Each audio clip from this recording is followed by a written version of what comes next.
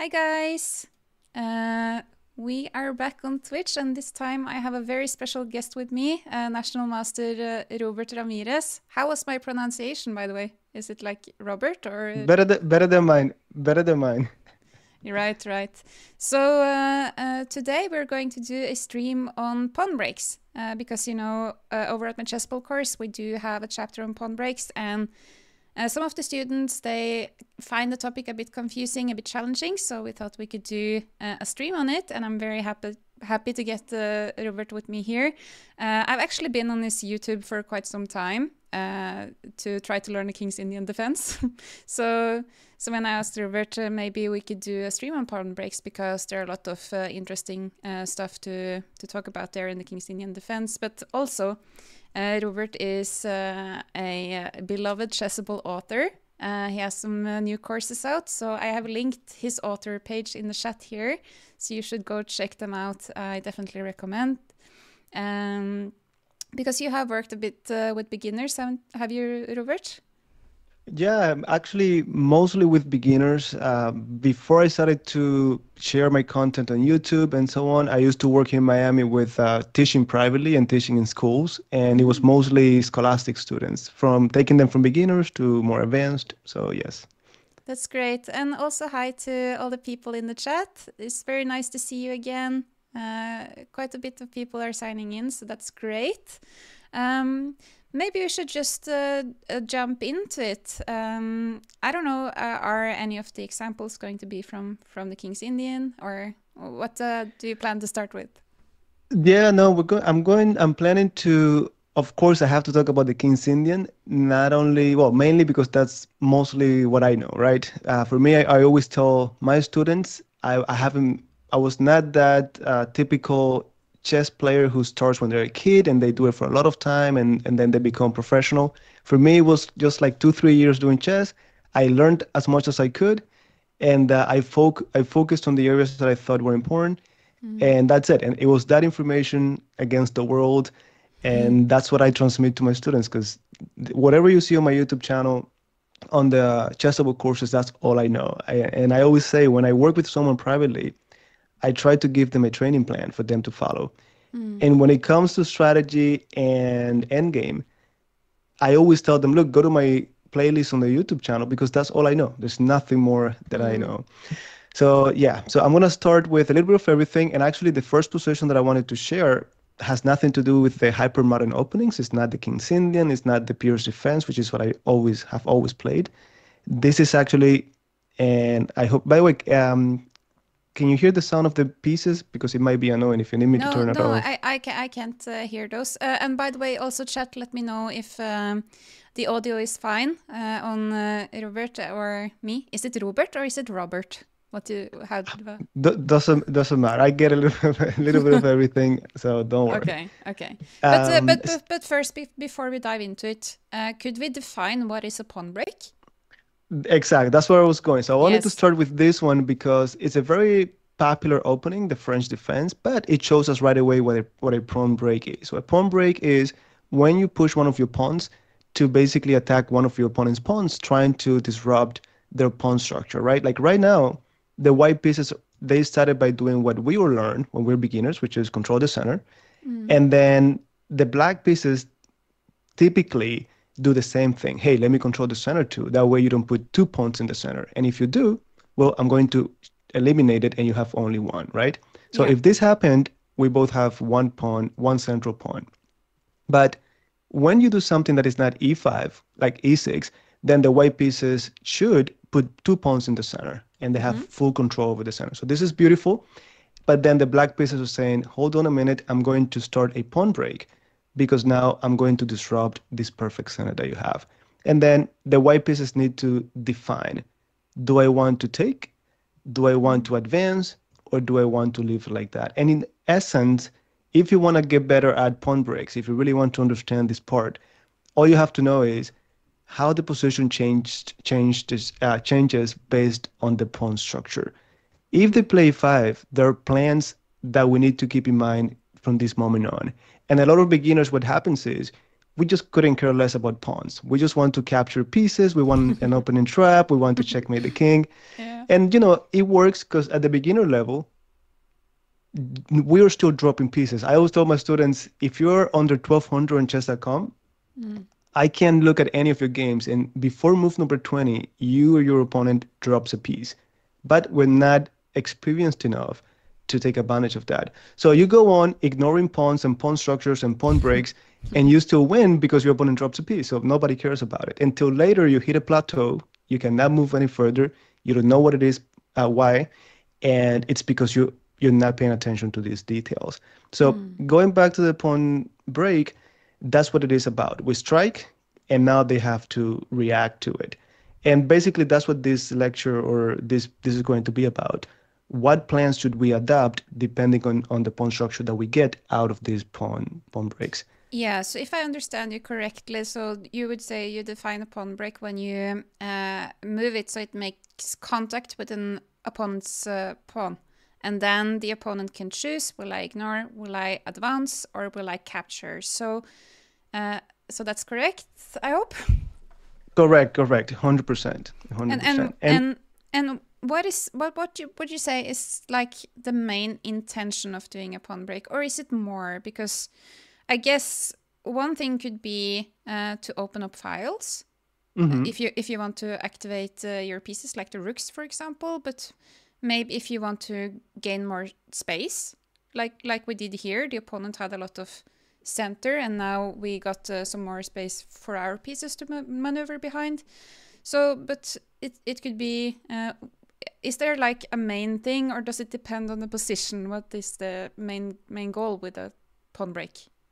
No i mean typically what you want is to affect the position right? Like right now you can see again they have more space. We know it's going to be easier for white to maneuver their pieces and attack me because they have more space right? So what i'm trying to do in this specific position is claim some of that space. Mm. Mm. and then depending on how it goes for example let's say they advance so this is the first thing. What do I do from this moment on? If I ask a beginner, they'll probably tell you, you know what, I'm going to do a check. Or if they're more experienced and they realize, you know what, that's nonsense because they block you, they might, they might say, well, let me develop my pieces, castle. However, someone more advanced, they should be thinking, you know what, the pawn structure in the center, this pawn chain is going to tell me my plan from this moment on. And this is why yes. if you talk to a more advanced player, they don't really have to study a lot of opening theory because they understand these principles already. So even if they don't know the, the theory, like we all want to know it step by step, mm. these ideas help them navigate the opening. For, for example, I've never played the French, but I understand my pawn structure is aiming at the queen side. I mm. need to play there. So how do I do it? Typically, you target the pawn in front of your most forward pawn. So if this is my most forward pawn, I want to target this guy. Mm. And you do it by playing c5. And that's why typically in this opening, let's say they go knight f3. Oh, my turn, sorry. You go c5, targeting that pawn right away. Mm. Let's say they go c3. Notice how everything occurs on the queen side. So knight yeah. to c6, putting pressure on that pawn on d4. Then queen goes to b6. Everything happens on the king side.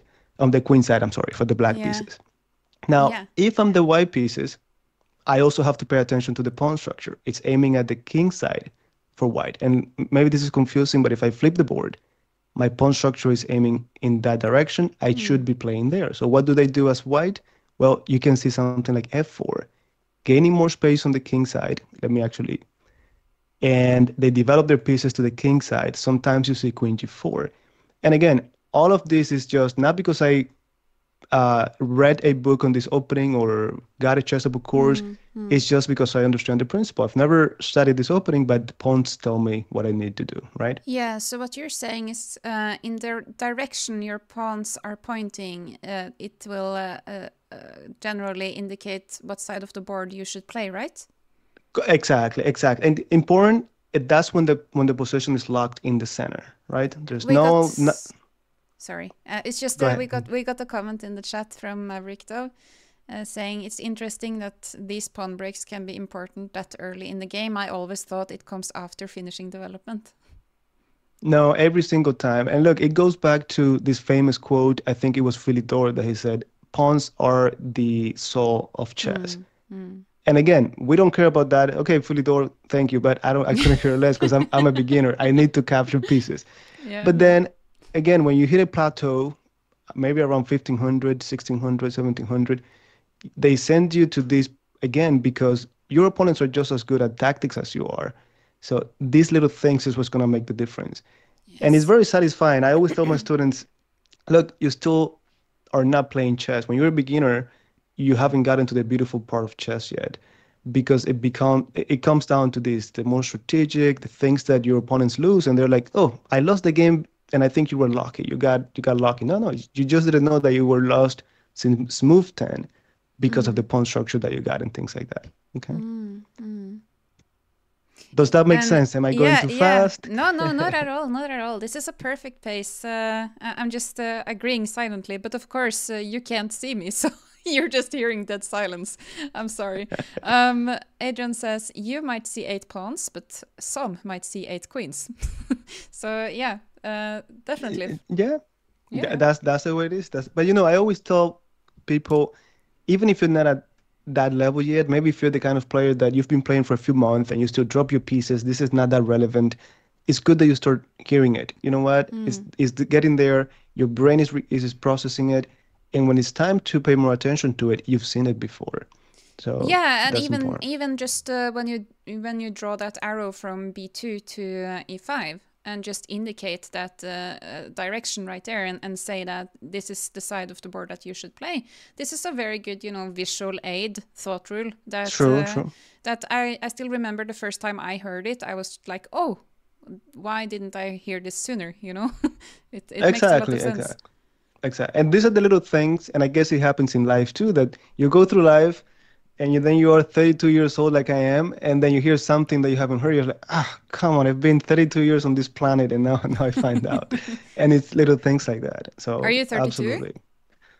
Already, yes. Yeah, we yes. were just same age then. oh, there you go. There you are go. You, just dif- different part of the world. Are you 90, 92 model? I'm March 11, 1992.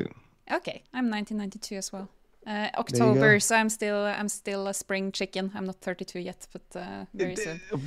Yeah, it's, it, that's the same, that's a joke my wife and I have around because my wife is 92, but she's from November, and for eight months I'm the oldest person in, in, yeah. the, in, in here. Yeah, right. But right. then, okay, but yeah, uh... we're, we're, getting old. Bottom line, we're getting old. Let's go back to chess. That's that is more important.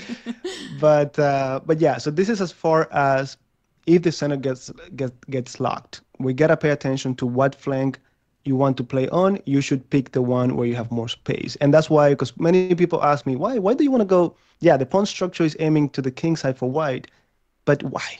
and then yeah. uh, it has to do with the fact that this pawn itself is giving you more space, meaning this knight can never come out to defend. So you should be playing there. You have more space, expand on that side. You don't want to go to the wrong neighborhood. You want to go to the neighborhood where you have friends and you have control. So it's, it's the same thing here. Okay. Yeah, yeah. It's good that you say this. Uh, by the way, uh, um, I, I, I don't think. Uh, yeah, it it was good that you said it. I, I've never thought to ask about why, but uh, yeah.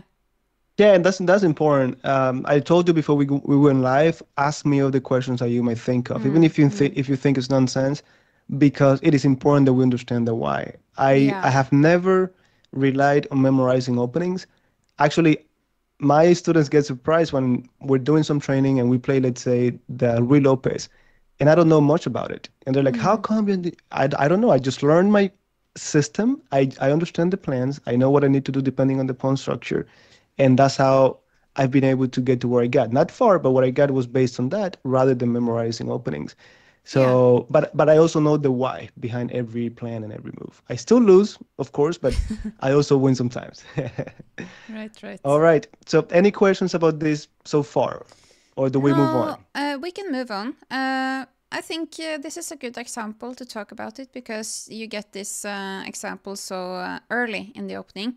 Uh, one of the things I struggled a lot with with the King's Indian when I started playing that was that you kind of let white take the center Correct. And, and then uh, you have to challenge the center later on. So doing that timing, and also you have the different pawn breaks to choose from, Like you can go for e5 or you could go for c5. And it's just like every time I choose c5, it seems like the engine wanted me to play e5 and vice versa, and, and that I couldn't like time it correctly. So. Uh, so that uh, I think was good to to get to practice these uh, pawn breaks. Exactly, uh, and I, and and I'm glad that you mentioned the King's Indian because this example that I wanted to show you now, I think is going to help you a lot with with that. But based on, on what you just said, I wanted to make something very clear. It is very important that we don't pay too much attention to the engine, hmm. uh, especially if you play if you play hypermodern openings, like the King's Indian Defense, the the Pirc Defense. Engines are programmed to really value space. So whenever the engine sees an opening that doesn't claim that space in the center, it's already going to hate it. So mm. keep that in mind. And I got this advice from um, what's his name? Well, very, very, very good uh, coach. Oh, Gukesh. So Gukesh, his coach. I'm listening to an interview of his coach, and he's saying how when he works with these super talented kids, until they're like 2400 feet there or something like that, they don't really use engines that much. Mm. And he says how it's important that any opening you pick, you really understand it and you like it rather than than than playing it because the engine says it's good. So he says, if you pick an opening, let's say the King's Indian, and you study it until the theory is over. Let's say move number 10, theory is over. He says, for now on, try to play this against the engine. And if you can maintain the position for another 10 moves, that's what you should be aiming for. An opening that you mm. understand so well that you can maintain it because you know the plans. Mm. And he says, I prefer that to someone who plays an opening because the engine says this is the best move, but then you let them play for another five moves after the theory is over and they mess it up because they don't they don't yeah. really know why this is so good, right? Yeah. So yeah. something that I really kept and I think is important. Now, I wanted to show you, this is, of course, hyper modern. Notice how we are letting them control the center. And this is an exercise that I do with my students. Um, this is called, and before people start criticizing, I know it's not popular, but this is called the hippo setup, right? The hippo defense. And um, I like to do this exercise because from this moment on, what I do is I tell them, look, we're going to get to this position on purpose, and then I want you to try breaking the center with e5. And that's going to give you, for example, let's say they play h3. Now I'm going to ask you, go ahead and play e5. And then this is going to give you a very specific pawn structure, right? So if you mm-hmm. remember what we said earlier, oh, my pawn structure is aiming at the king side. I need to target the pawn in front of my most forward pawn. So this is my most forward pawn. I gotta target this guy. How do I do it? By playing f5 and expanding on that side of the board. And I'll show you later games, full games, where you, where you can see this attack in place. But this position gives you that exposure to it. I'm not saying play this opening forever, just do it once or twice to really get exposure to it. Mm. Now, from here, you could play five, or sometimes you get the white pieces play d5. And then again, you got to decide there's a pawn break here. What do I want to do? Do I want to take? And then do I like the pawn structure that is going to come from here? Or if they take with the pawn, they open up the file. If they take with the knight, you got this pawn on d6 versus the pawn on e4. Is this something that I like? So these are the little things that unless you really struggle with it, you play it and you mess it up a few times, you're never going to get the hang of it. So this is, I think, um, the kind of exposure that you would need. Sometimes break with c5, sometimes break with e5, sometimes, sometimes with e5. And then you get exposure to it. Even if you never do this again, you have some experience in this regard. Mm-hmm. Does that make sense? Not really. yeah, I was just. Uh, what was uh, what is like the main aim of, of, of playing this a couple of times to get exposure to to the what? different pawn structures that you can get based ah. on the on the breaks, right? Like yeah, this opening, okay. what it does is it gives you the perfect field for you to play e5 if that if that's what you want to try out, mm. Or d5 or c5, and then yeah. each one of those is gonna give you a different a different pawn structure, right? Because and, I I immediately liked c5 a bit better, but I, I think that this maybe you have probably heard this before from some of your students because we're so worried about the king, right? no, no, no. It's valid, but what I want you to really pay attention to is that if you play c5, this is like playing the Sicilian defense. Like mm-hmm. Sicilian defense, you start with, let me actually go back here. Sicilian defense would be like this, right? E4, C5. The most popular opening out there, considered to be the best for black, is the Sicilian defense. I have never played it because I think it's too complicated. There's a lot of theory. Yeah. You gotta know move by move. You mess up the move order, you're destroyed. Yeah. Now, here, you're getting into a Sicilian defense, but delayed. You did your thing, and only later, when you were ready, you played c5. Mm-hmm. And then this is going to allow you to get into this pawn structure without memorizing too much theory because you're not playing c5 from move one. Also, your opponents many times get into it and they don't really realize it that they're getting into a Sicilian. But more importantly, for myself, for you, for anyone, if you get this a few times, you start to see the the plans associated with this pawn structure, mm-hmm. associated from the Sicilian. Um, you learn from the Sicilian, and again, you're playing Sicilian defense. And even if you never play it again, you're exp- expanding your horizons. You're becoming a better chess player. And in the yeah, long run, okay, okay. I think uh, I think I might be catching on to. Uh, so, so, what you're saying, this, this is good because you you get to um, play around with a lot of different pawn structures. Is what you're saying? Perfect, perfect, yes. exactly. Which is which is one of the main critic uh, the main critics that I get. When I first started, I was already 12, 13 and I was too old, according to my coach, because a lot of the kids who, who go to the academy in Cuba, they'll they'll get there when they were five, six, seven, eight. So I didn't have time to play to learn all of these openings like they did. So I went straight to, you know what, I like this Pirc, Pirc defense, King's Indian mm-hmm. defense. Mm-hmm. And the bad thing about the good thing is you learned your system and that's it. The bad thing is you don't know any more than that. Mm. But the way that I had to cover for that was to get exposure to it through here. You see, I have never played the Sicilian, but whenever I play C5, I know what this is about. So I could play the Sicilian like it happened to me last tournament I played in January. Yeah. I'm playing a line against this grandmaster. He transposes, we get into the Sicilian, something I've never played before. But guess what? Yeah. I was able to navigate it. 50 moves later, the game was a draw. But it's because of this exposure to the different position types and, and so on.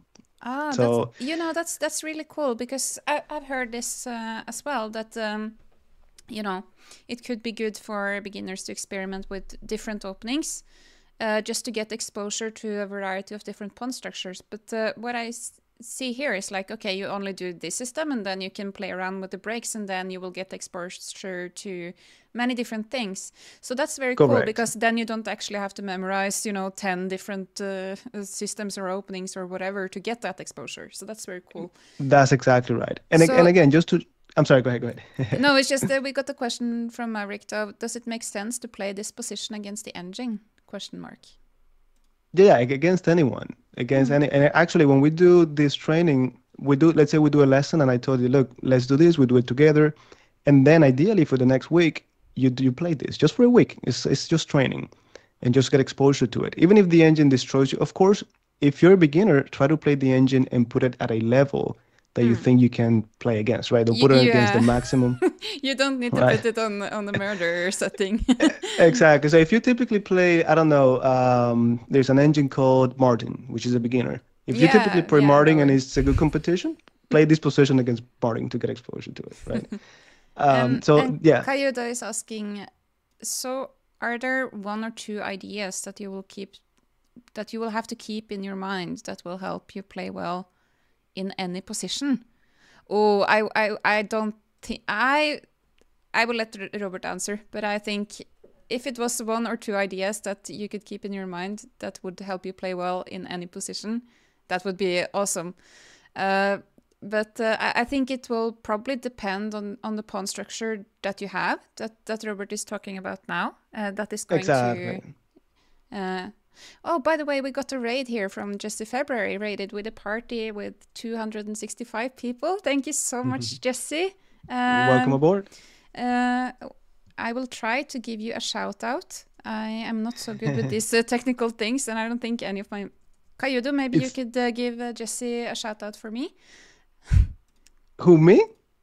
No, no, Kayudo, my no, moderator. Okay. not not you, not you. You should only be concerned with teaching. no, yeah. I, I, was waiting for you to finish because I was gonna tell you. If it sounds good to hear that you're also not good with this technical part because I'm horrible at it as well. So I feel yeah. better. yeah. So for for the raiders, we're having a lesson here today with uh, National Master uh, Robert Ramirez. Uh, check out his uh, chessable courses uh, via the link in chat, and also make sure to check out his YouTube channel. He's a great chess teacher that makes a lot of content for beginners and intermediate players. So we're discussing pawn breaks today. Okay, back to the hippo. All right, you got it. So yeah, we just talked about how if you play c5, you get exposure to the Sicilian kind of position. So even if you never played the Sicilian, or if you ever play it, you're not gonna be like, oh, first time I see it. You're gonna be like, you know what? I don't remember when, but I've seen this before. Oh, it was that guy that I, I saw on the live stream uh, talking about it. Now the same thing. Imagine they have played d5, and then you play e5 you're playing a structure that is typical of the King's Indian defense, the Pirc defense. So you get exposure to all of it. You don't have to be specific to one of them. Lastly, mm-hmm. let's say they play five and you decide, I know this is a free pawn, but let's say you play d5. You get this pawn structure, which is typical of the French defense, which is what we talked about earlier. Yeah. So again, it's just about not, this is, the purpose is not to make you an expert at those openings It's just to get, give exposure to the different position types, the plans, and then regardless of the position you get or the opening you play, you know what the plan is for the next five, ten moves. Yeah, it's uh, it's it's fun. You know, uh, I'm just uh, so miserable in these uh, French type of positions. I always end up getting mated uh, or get some sort of attack on the king side. I just I, I get so miserable uh, times I play other openings and I find myself in these types of positions. So, uh, so maybe it's nice to experiment actually, because even though you're playing a different opening than the French, uh, something can happen and you can you can get out That's of theory exactly. and and suddenly you are in a French like position and exactly and you're getting mated. Exactly. Oh no, you know what? Let Let's say you're luckier than we are, because you sound like you're like me. You got made it right away. Yeah. But let's say you don't get mated but there's nothing worse than being playing a game and you have no plan. You're here yeah. like I'm not checkmated, but I don't know what to do next, mm-hmm. and it's just painful. It's just painful. Yeah. So now here, um, if you remember what we just talked about a few minutes ago in the other example, if I asked any of you, what's the plan for the black pieces? What would you we, say? What do you think we to, should? We, we want to take space go on ahead, the queen side. go, go, ahead, exactly. so it's the, aiming at the, the queen side. And, yeah. I want to target the pawn in front of my most forward pawn, so I want to target this guy, and I play c5. And then yeah. all of my pieces should be navigating to the queen side. So maybe I play c5, and then knight to c6 to put pressure on d4, and I try to expand there.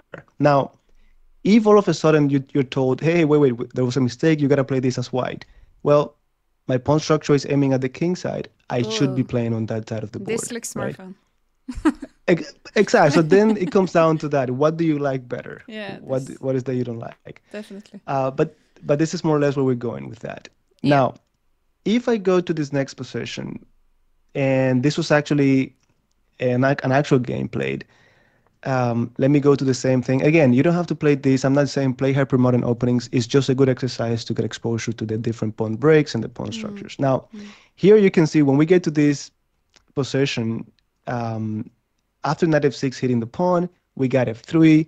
And then again, the black pieces decided to play d5. So this is the pawn break. I'm attacking an enemy pawn, and I'm trying to, to disrupt this perfect center that they have in this case. So they have to make a decision. If they took, now I need to know how to respond. What do I want to take with? And I'm going to ask you, what would you take with? Would you take with the pawn? Would you take with the e knight, the f knight, the bishop, the queen? And well, this is where, where we get complicated when you have I so many options. I would definitely not take with the queen. Uh, okay, okay, that's the, a good way to start process because, of elimination. because the knight would just take it, right? Um, Very good. I I guess I would uh, be a bit hesitant to take with the e pawn just because I would feel my king got a bit exposed Open. there, uh, and, uh, and, and I like uh, that the that the pawns are connected on on that side like there there is. But maybe I would like to, to take with the f knight. Uh, but but I don't really have any reason for why I should do it with that one rather than the e7 knight, but uh, I guess um, I guess it would open up my bishop a bit more, and if white retakes with their knight, I would have my knight in the center. The e- e7 knight would be in the center.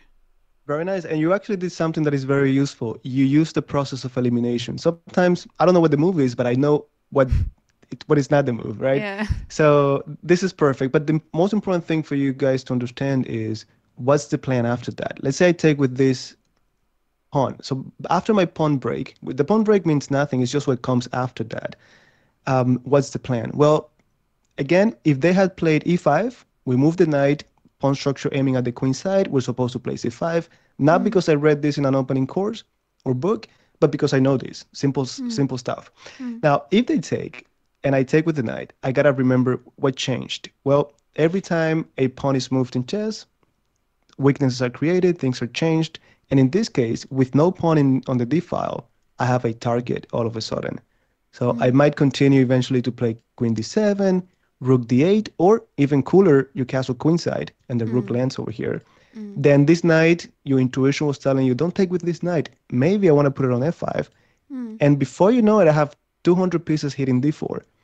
And this is what really, really matters in chess. Not memorizing opening, no, no opening traps, just no paying attention to these little details, which has to do with pawns and pawns only. Yeah, and I also wanted to mention I didn't want to take with the bishop because then uh, white could trade it for the knight and and we would give the bishop oh. pair. I forgot to mention. So correct. Uh, and correct. of course, let's say if we get uh, knight on f6 takes pawn and then and we swap the knights and our pawn mm -hmm. is on e5. If they play c3 to reinforce the pawn, uh, then mm -hmm. we mm-hmm. would probably have a new weakness on b2 or on on where on B2? Yeah, or well, you know what? We don't call this a weakness. And another thing that is important to remember, it took me a long time to really understand this or to get exposure to it, is that a weakness is only a weakness. Even if you have an isolated pawn, it is only a weakness if it can be exploited. Yeah. If it can be attacked, right? So that pawn on b2, you could say b3 is weak. Like I can see one of my knights going into b3, and no pawn could ever kick me out. So that's a valid statement. But b2, I think it's a pretty healthy pawn. Actually, this pawn structure is okay. But my job would be to undermine that pawn structure. And it might be in the form of playing c5 at the right time, right? So if, uh, let's say, the b file was open, it would be different? That would be had, a different and story. Had, and we had a rook because then it would be exploitable. Exactly, exactly, exactly. But then it goes back to pawns again. Let's for a second imagine these guys are not here. If I play rook b8, I know they're going to play b4, mm. right? And they defend the b pawn. B- c3 becomes weak, but b4 is taken care of. So if these pawns are gone, I would like to play a5 so that I control b4. You can never play b4. And then mm. I start putting pressure on that pawn. And I just put pressure on it, put pressure on it until either you drop it or you have to bring pieces to defend and your pieces are slave to defending that pawn. Make sense? Yes, makes sense. Thanks for clearing All right. No, my pleasure. Any questions, bring them on. Now, in the game, after d5, they did not take, they just advanced. And then we bring the knight over to d7. Notice that I think it's pretty natural to bring it to d7, but mm. honestly, the justification is my pawn structure is aiming at the queen side, the center is locked, I gotta play there. And I need to bring my pieces to the queen side. So this knight came from the king side to the queen side. And then yes. the rook is going to come to c8, and then you play c5 and so on. Now, in the game they played before, you see, it's all about the pawns mm. before because they understand I want to target the pawn in front of my most forward pawn. I want to play with his c5. And so they played before. Now, the question to you is what would you play at this point as the black pieces? And I know this might be uncomfortable for a lot of you. I'm I don't have a lot of space. I don't know what to do next. Yeah, I would definitely be a bit miserable here, I think, uh, because I'm in this French like position. I feel like my bishop on g7 is kind of biting on granite, and I'm not castled. It doesn't really matter because the position is closed, but I just know with myself I would be a bit miserable here. And after b4, that kind of stops the c5 plan. So here I think I would be maybe a little bit stuck. Uh, maybe I would just play c5 anyways, just to try to open up the position a bit on the queen side. All right, and and that's actually the next point I wanted to start to make through this uh, presentation. the most important thing at the level at the beginner level with pawn breaks is calculating if it's safe or not. You don't know how many of my students they go c5 and they don't even calculate and then they end up dropping the pawn for free. So th- that's the first step in you could pawn like breaks. you could like prepare it though if you add a add a defender maybe with the rook on c8 or something. Aha, but look at this. You are only using words. You're saying I might just play it just just because I have nothing better. You might prepare it, and we all do this. When in reality, you have to really update the image in your head. You have to calculate, visualize that happening. Yeah. So imagine c5 for a moment. If I'm playing this in a, in a, in a game, c5 comes to mind. Now let me just calculate that. If I put the pawn on c5, let's say they take with the b pawn. I take with the b pawn. They take with the d pawn and then can I capture anything at that point? Is it safe to mm. capture anything or not really? You can't capture that pawn on c5 because it is protected by the bishop, but um, but the pawn on c5 sh should be um, a bit weak, no? It can't be protected by any other pawns. We could probably pick it up, or can we? What do you mean pick it up? You mean like put more pressure on it and Yeah, eventually pick yeah, it up? Yeah. Well, you might be right, but oh, the problem uh, that I and, uh, and uh, wait, isn't uh, e5 hanging? exactly, but you see, you did not visualize it No, I didn't. I didn't. You didn't, and and that's that's the the first barrier that we have to break as a beginner. First, the first problem that I get with that the pawn breaks is that we just don't calculate enough. We even if we try, we cannot keep track of how many pieces are attacking there. Now, Mm. once we get past that, it's a different story. But we definitely have to visualize. Pawn takes, Yeah. pawn takes, pawn takes, and then I pick up on e5. I like this variation all of a sudden. Yeah. And if you think about it, um, after d takes e5 and you take on e5, all of a sudden your position is not as miserable. You're not as um, restricted. They have doubled isolated pawns, like you said, they're gonna fall. There's an isolated pawn on a4. So this is looking really good for the black pieces all of a sudden. But if you don't understand these pawn breaks and you cannot visualize two, three moves down the road, you never play c5 because you saw a ghost, and then you're miserable for the remaining of the game. I kind of I don't know if that makes sense. I kind of wanted uh, to uh, just play e5 and not calculate it because I thought it must be good and I don't care if I lose a pawn there because then at least I'll have some more space. But it is not good. I should really calculate, like you say. And and and I even saw a tweet from uh, Susan Polgar here the other day that uh, really made me go go into myself a bit. I think she just she wrote a tweet something like uh, chess players that don't want to calculate is like a football player that doesn't want to run or something like that. And I was just Yeah, yeah, yeah. yeah, she's so right. Eh, Look, there's there's another part of it, which is the more you do this, um, your intuition is going to be developed, Hmm. and then sometimes, like right now, you felt like you had to play. Your intuition is telling you, "Hey, um, go ahead and do it." So it feels right, but we should get into the habit of backing it Yeah. up with solid calculation. Yeah. because if not you're playing cards. You're playing cards. Sometimes it might be right sometimes it might be not. It might not be it. Maybe c5 is good on the next move after you play rook c8 and then one silly mistake you cannot take it back. So, So so um this uh, seeing that that uh, pawn was hanging on e5, you need to definitely be able to visualize it. So do you, you have to a- what's what's like your your best tips to beginners that struggle to visualize? Because you know when you're starting out, you could struggle even visualizing one or two moves. Uh, is there like some exercises that you think are good for visualization for beginners?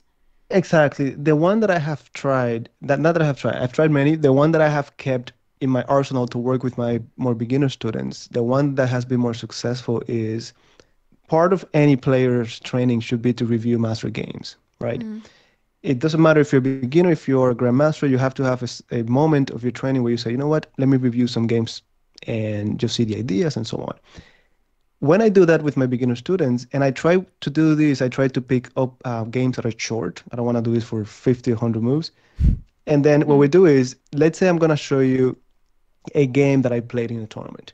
Instead of telling you they played e4 and I played e5 and then knight f3 and then knight c6, what I do is I tell you the first two moves for you to keep track in your head. We're not moving the pieces. So I'll tell you the game went e4, e5, knight f3, knight c6. So you see, we're not moving the pieces. I just need you to visualize those first two moves. And then it might be difficult at the beginning, but then when you finally visualize it, okay, there's a knight on f3, there's a knight on c6, I can see it. Good. Mm. Now we move it on the board. Boom, boom, boom. And then we keep going two moves at a time until the end of the game. Mm. So that in itself, I've seen great results with that. The thing is, not everyone does it um, consistently, and that's the key consistency. Mm. And I call it the two by two technique. But then when you get good at that, because the thing is, it's not just going over the game. I'm gonna be trying to confuse you, asking you questions. Why didn't I go to f3? What is it attacking? What, who's defending it? Just to see if you can keep track of the pieces. Then we do it three by three, and then four by four, and five by five, and then we get to the point where maybe you don't visualize five moves clearly, but if you do only halfway really well, mm-hmm. that's really good. Mm, if you can mm-hmm. visualize three moves, that's great. And by yeah. the way, this is not something we do with beginners. I have even students who are more intermediate that they struggle with that. They're really good at yeah. tactics, but they struggle with that. Yeah, and it's like uh, even though, like you said, even though if you don't do it perfectly, uh, uh, that is at least my experience. Even though you struggle a bit, still uh, the action of trying uh, it will still help and it, exactly. it uh, and it should hurt a little bit in your brain when you do this and, and it's normal and i just feel like when your brain hurts a bit when you're training chess it's because you're doing something that is working yeah no you're right you're right i always that's another thing that i tell my adult students not so much mm. with kids because kids typically they do what i tell them to do adults they end up watching videos and yeah. reading about chess history and, and and so on and I tell them that's really good, but if you're not doing training that is really painful, that you're calculating there for 15 minutes, you're doing tactics for an hour, mm. then you, it's not active learning. It's not that effective. You mm. could be watching my YouTube videos, for example, for an hour, and then I have your kid doing tactics with me for an hour, just mm. tactics after tactics. You could play after that. After that month, he's gonna he's gonna do better. So exactly yeah. like you said, you need that grind yeah, and you need it active learning. That's that's a good way. Active learning. Exactly. You need, you need to partake in your own learning. You can't just watch uh, watch us, even though we're happy you're watching us. But uh, no, no. look, it, this is life. You gotta have a balance. Yeah. Everything in excess is not good, but definitely it's really important that you have these kind of sessions as well. Especially if you're a beginner. Tactics, mm. play games. Tactics, play yeah, games. That's yeah. what we should be doing. Okay. All right. So any any questions before I move on to the next one? No, uh, I think you're crystal clear. Uh, also, all right, all right. Uh, I, I, can see chat is talking, but uh, of course, if you have any questions, uh, feel free to shoot them in the chat as well. Very good. Let's, all let's right. So let me then. I have this game that I wanted to show you quickly without too much uh, detail. This was played by two world champions, Petrosian and Spassky. Spassky was the one who lost to to Bobby Fischer. Uh, great player, of course. And I like to always have this opening or these games because openings are always popular based on what the elite players play. If they play mm. certain openings, they become popular, and then everything else people hate because the elite are not playing it. Mm. Uh, but then this is Spassky playing the Hippo, right? Um, and then what I really wanted to show you is how he got into this weird pawn structure um, by playing f6 and this is something that at first when I saw it, it's like, come on, Spassky, what, what is this? uh, I can imagine your Russian friends making fun of you there. Just, yeah. But then all of a sudden, this is actually very typical. You put the pawns next to each other. It's a very well-known uh, approach, and then it's very easier. It's much easier to expand an attack and do the pawn break. So, for example, after queen e2, he moves the king out of the way. So these are very prophylactic moves.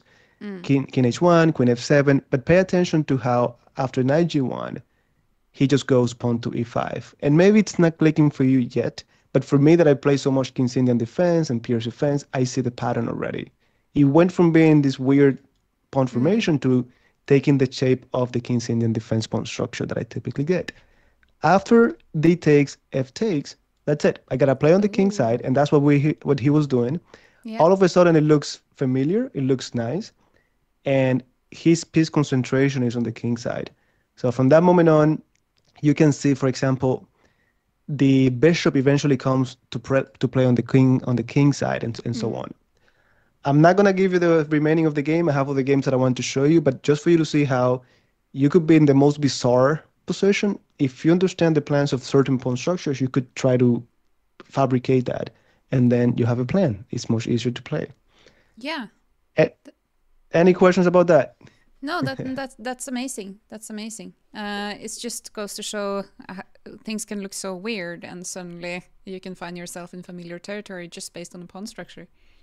Exactly. Chess is pattern recognition, and you have tactical patterns like the forks and the pins that we love, but there's also strategic positional patterns that we have to be familiar with.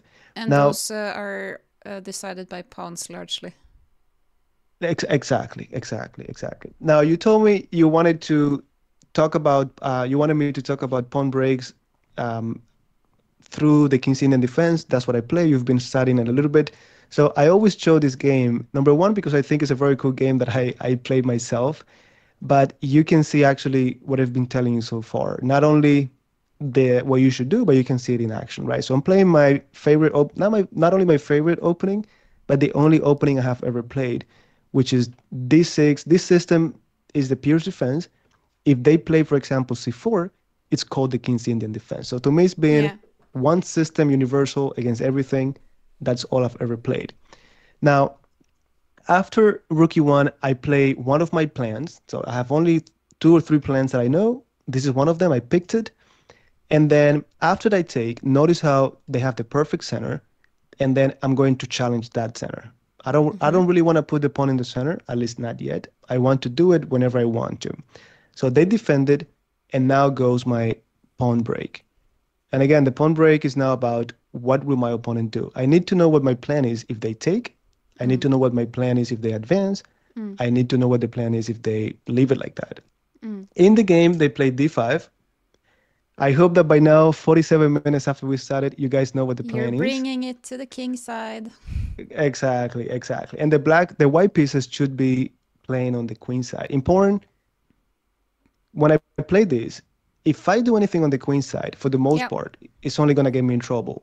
I, I have no conditions to attack there. My pieces are on the king side already. I don't have space, so that would be only getting me into trouble. Same yeah, so thing for white. Is, uh, this is like an important thing just to to mention for the viewers. I think that are uh, below 1000 is that uh, you can go for a pawn break here already uh, on c6 but uh, that is in the opposite direction of uh, if we draw an arrow from c7 to yeah that's in, in, that's in the wrong direction. So then you're starting to play on white side of the board. So then exactly. you're kind, then you're kind of just helping white in a way. Uh, that's exactly right. but i guess are there situations where there's uh, uh, exceptions to this uh, rule? Yeah it, look something that i learned quite when i was quite more advanced um, is that there's this um, player Boris Gulko. He has a series of books that I really like a lot, and he's always saying how every principle in chess is flexible. Mm. And what I've seen myself, what I my students really hate because from beginners we're telling you, hey, follow these principles, like mm. develop your pieces in the in the opening, castle the king, right? And then you look at Magnus Carlsen player, any of these elite players, and they don't castle sometimes. No. They don't they don't develop the pieces, or they develop them and then put them back, or mm. put the knights on the edge. And you're like, what is this? And he Gulko is he does a great job reinforcing that idea that every principle in chess is flexible, and then we gotta first teach you to really get those under control, the principles, and then we gotta help you um, undo sort of on exactly. And, and and say you know what? I know this is a principle but maybe this is not it, it doesn't apply here. You know it's very like, i have a i have a little bit of a, a, parallel actually because i do art. And you know i, I guess you're familiar with uh, picasso.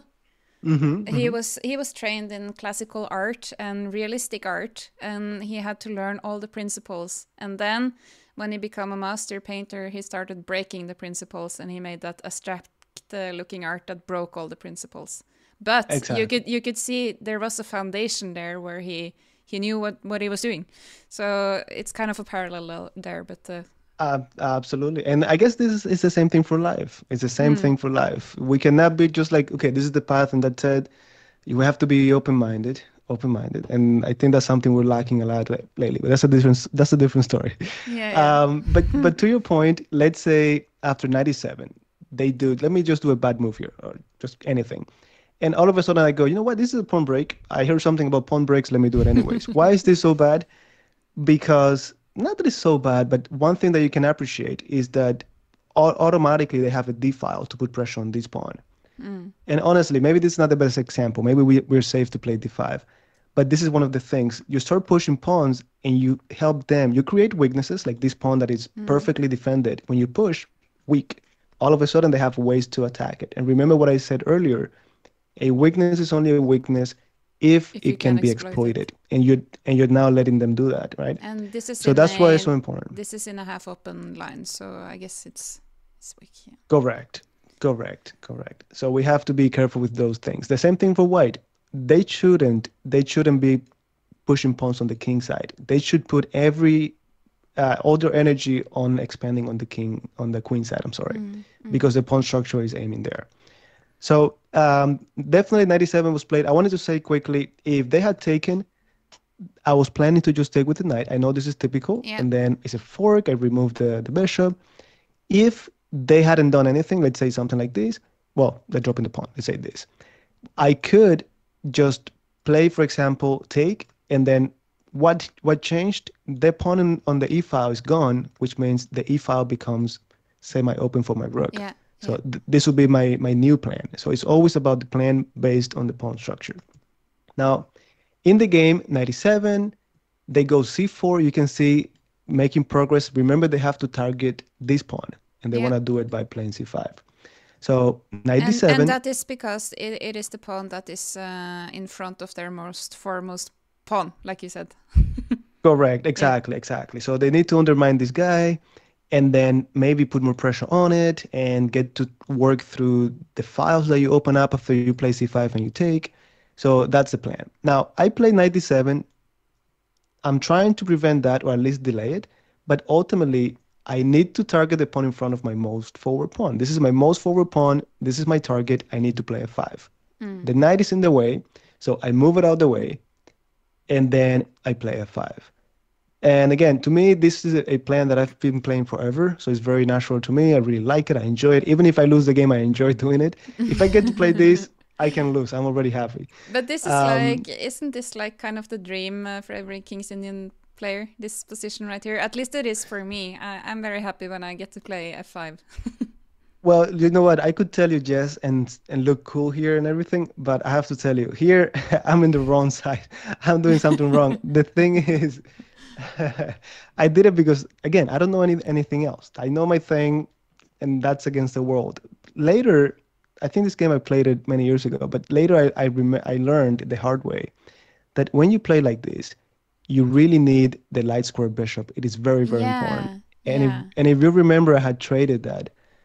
Mm, so mm. here it's the ideal position, and I really enjoyed it. If I have to play it again, I do the same plan, but always keep that in mind.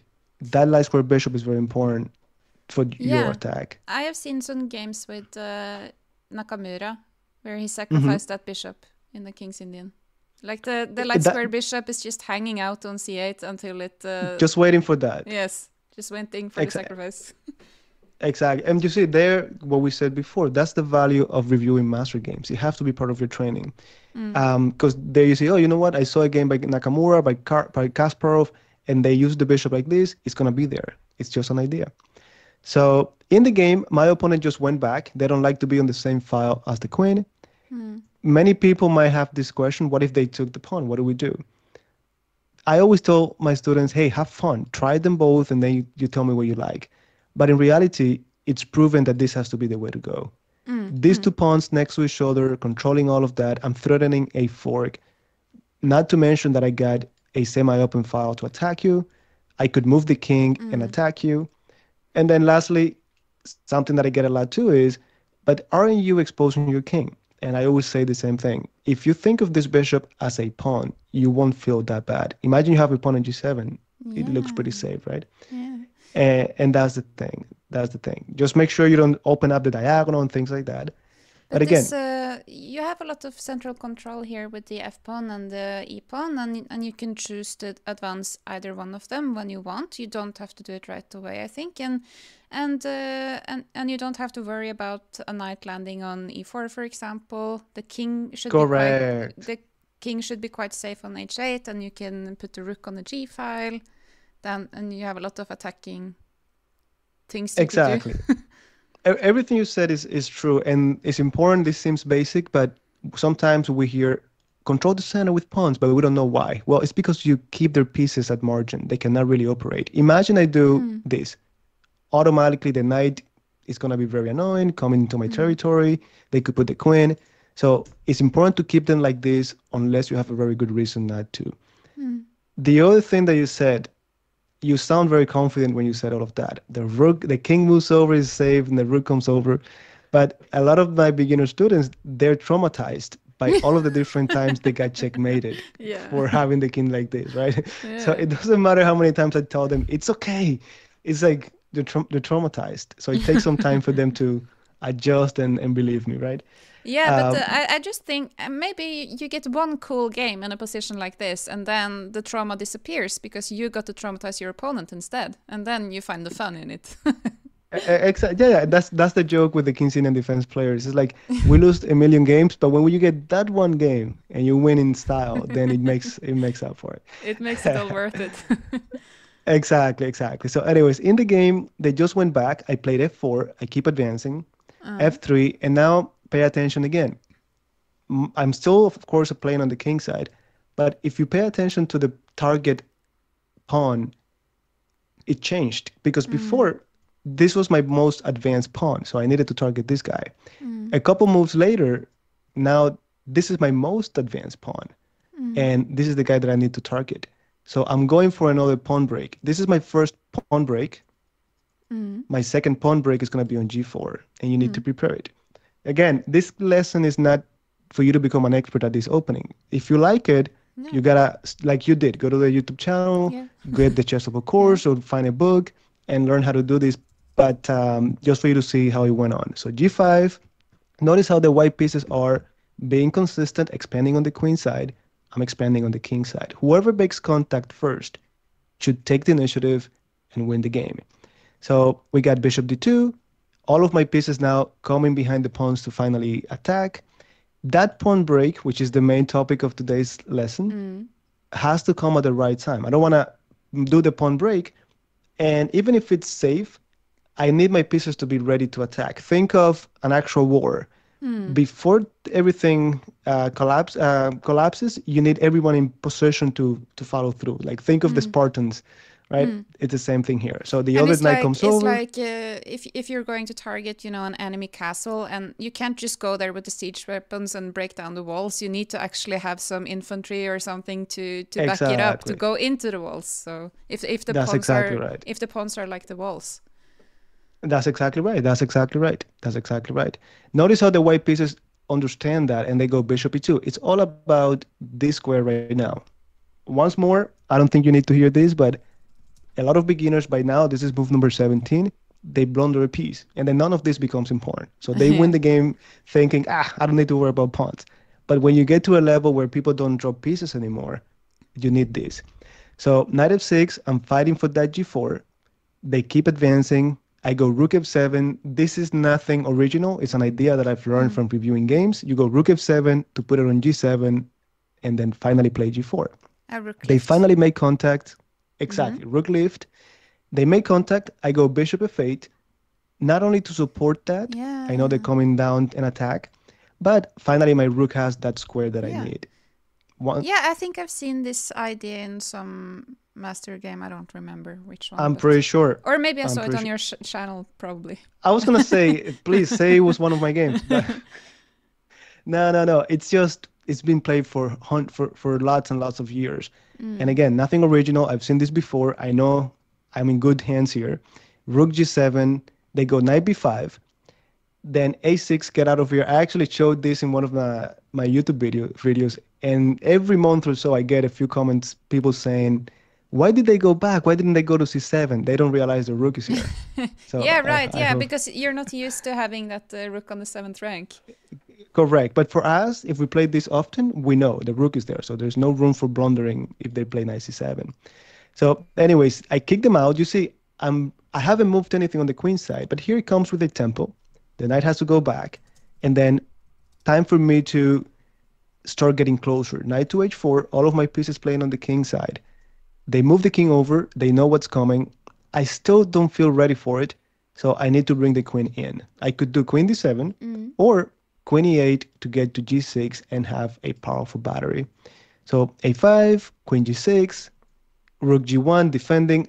Whenever I'm playing a game and my opponents do a defensive move, oof, it feels so good. Because now they're, they're, not attacking me, right? They're, they're getting yeah. ready for me to attack. Yeah, yeah. Now, finally, I play g4. They go bishop e1, attacking the knight. And by now, you should not miss this opportunity to open up the position. I just didn't want to lose the knight, so I closed this in. This is typically disaster because that's it. Your pieces won't be able to penetrate. Uh. There's no way in. And then this is when what we talked about before. If you had the light square bishop, yes. you would sacrifice it and you win the game. Yes. So that's why it's so so important. Yeah. The bishop doesn't do anything other than sit there. Oh, it's time. Okay, go sacrifice. I did it not because I didn't know that. I've been playing this for long enough. I did it because I knew, you know what? I don't have the bishop, but I could bring the knight over to do that. You can so, sacrifice the knight instead. Correct. So if I want the knight to go to h3, what, how do I go about it? Well, I need to be on g5. If I want to be on g5, I need to be on h7. Yeah. If I need to be, well, that's it. And that's your route to get to that's like uh, to h3. Route, uh, route uh, planning. Exactly. That's so, exactly so, right. so the key here is right. Uh, the the key here is that um, you don't have any more pawn breaks left because you advanced to g3. So if you want to open it, uh, the wall castle walls now, you kind of need to fling uh, a piece into it to crack exactly exactly. And it's important i know probably you already got this it's important. This pawn breaks the main objective you asked this at the very beginning i was like come on wait until i get to my game. So you were, you were asking what's the point? The point typically is to alter the position in this case i need to open up lines for me to attack and, and checkmate that king so typically if you get this opportunity you open up lines you take on h3 you take on f3 but again here I saw the other plan. They attacked my rook. I didn't I didn't leave it there, of course. Rook c8. I'm thinking I'm gonna take you to just delay you a little bit more, and this knight is not gonna do anything. Mm. Something I wanna it has nothing to do with this, but I wanna use this opportunity to point it out. I really like this pattern of two squares away from the knight. My bishop two squares away from the knight controls the knight completely. Anytime, particularly oh. if you're in time oh. pressure, I'm always looking for that pattern. I have a bishop, boom, two squares away from the knight. That knight is controlled. I don't have to think. That's very nice. I never, I never heard that or seen that before, but it makes great sense because the bishop is uh, controlling both of stars. Exactly. Exactly. There are a lot of things. A little. There are other things that really help, especially if you're a beginner. I know you fall for knight forks a lot.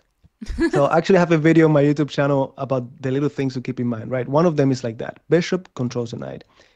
Uh, but anyways, I but go is 95. That, uh, is that in both uh, directions, by the way, or only any any uh, anytime, anytime? If any, like imagine this knight of mine, right?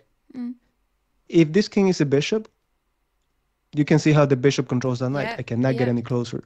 Yeah. Anytime you have a bishop versus knight, two squares in between, of course, on a line, on a file or a mm. rank, mm. you control it. Imagine this knight is right here. I cannot get any closer because this bishop is controlling all of that, right? So, so two squares away from the knight. Horizontally or vertically doesn't matter. That is a very good thought rule and our visual aid. I haven't seen it before. It was very nice. Yeah, yeah. And again, particularly if you're in time pressure, you have a few seconds left. Mm-hmm. You don't have to mm-hmm. be like, oh, is that not gonna jump?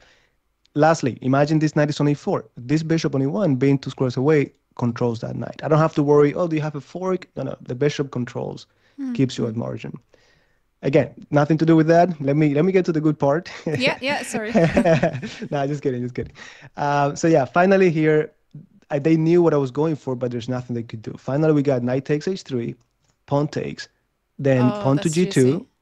if you take checkmate and then what do you think is the next move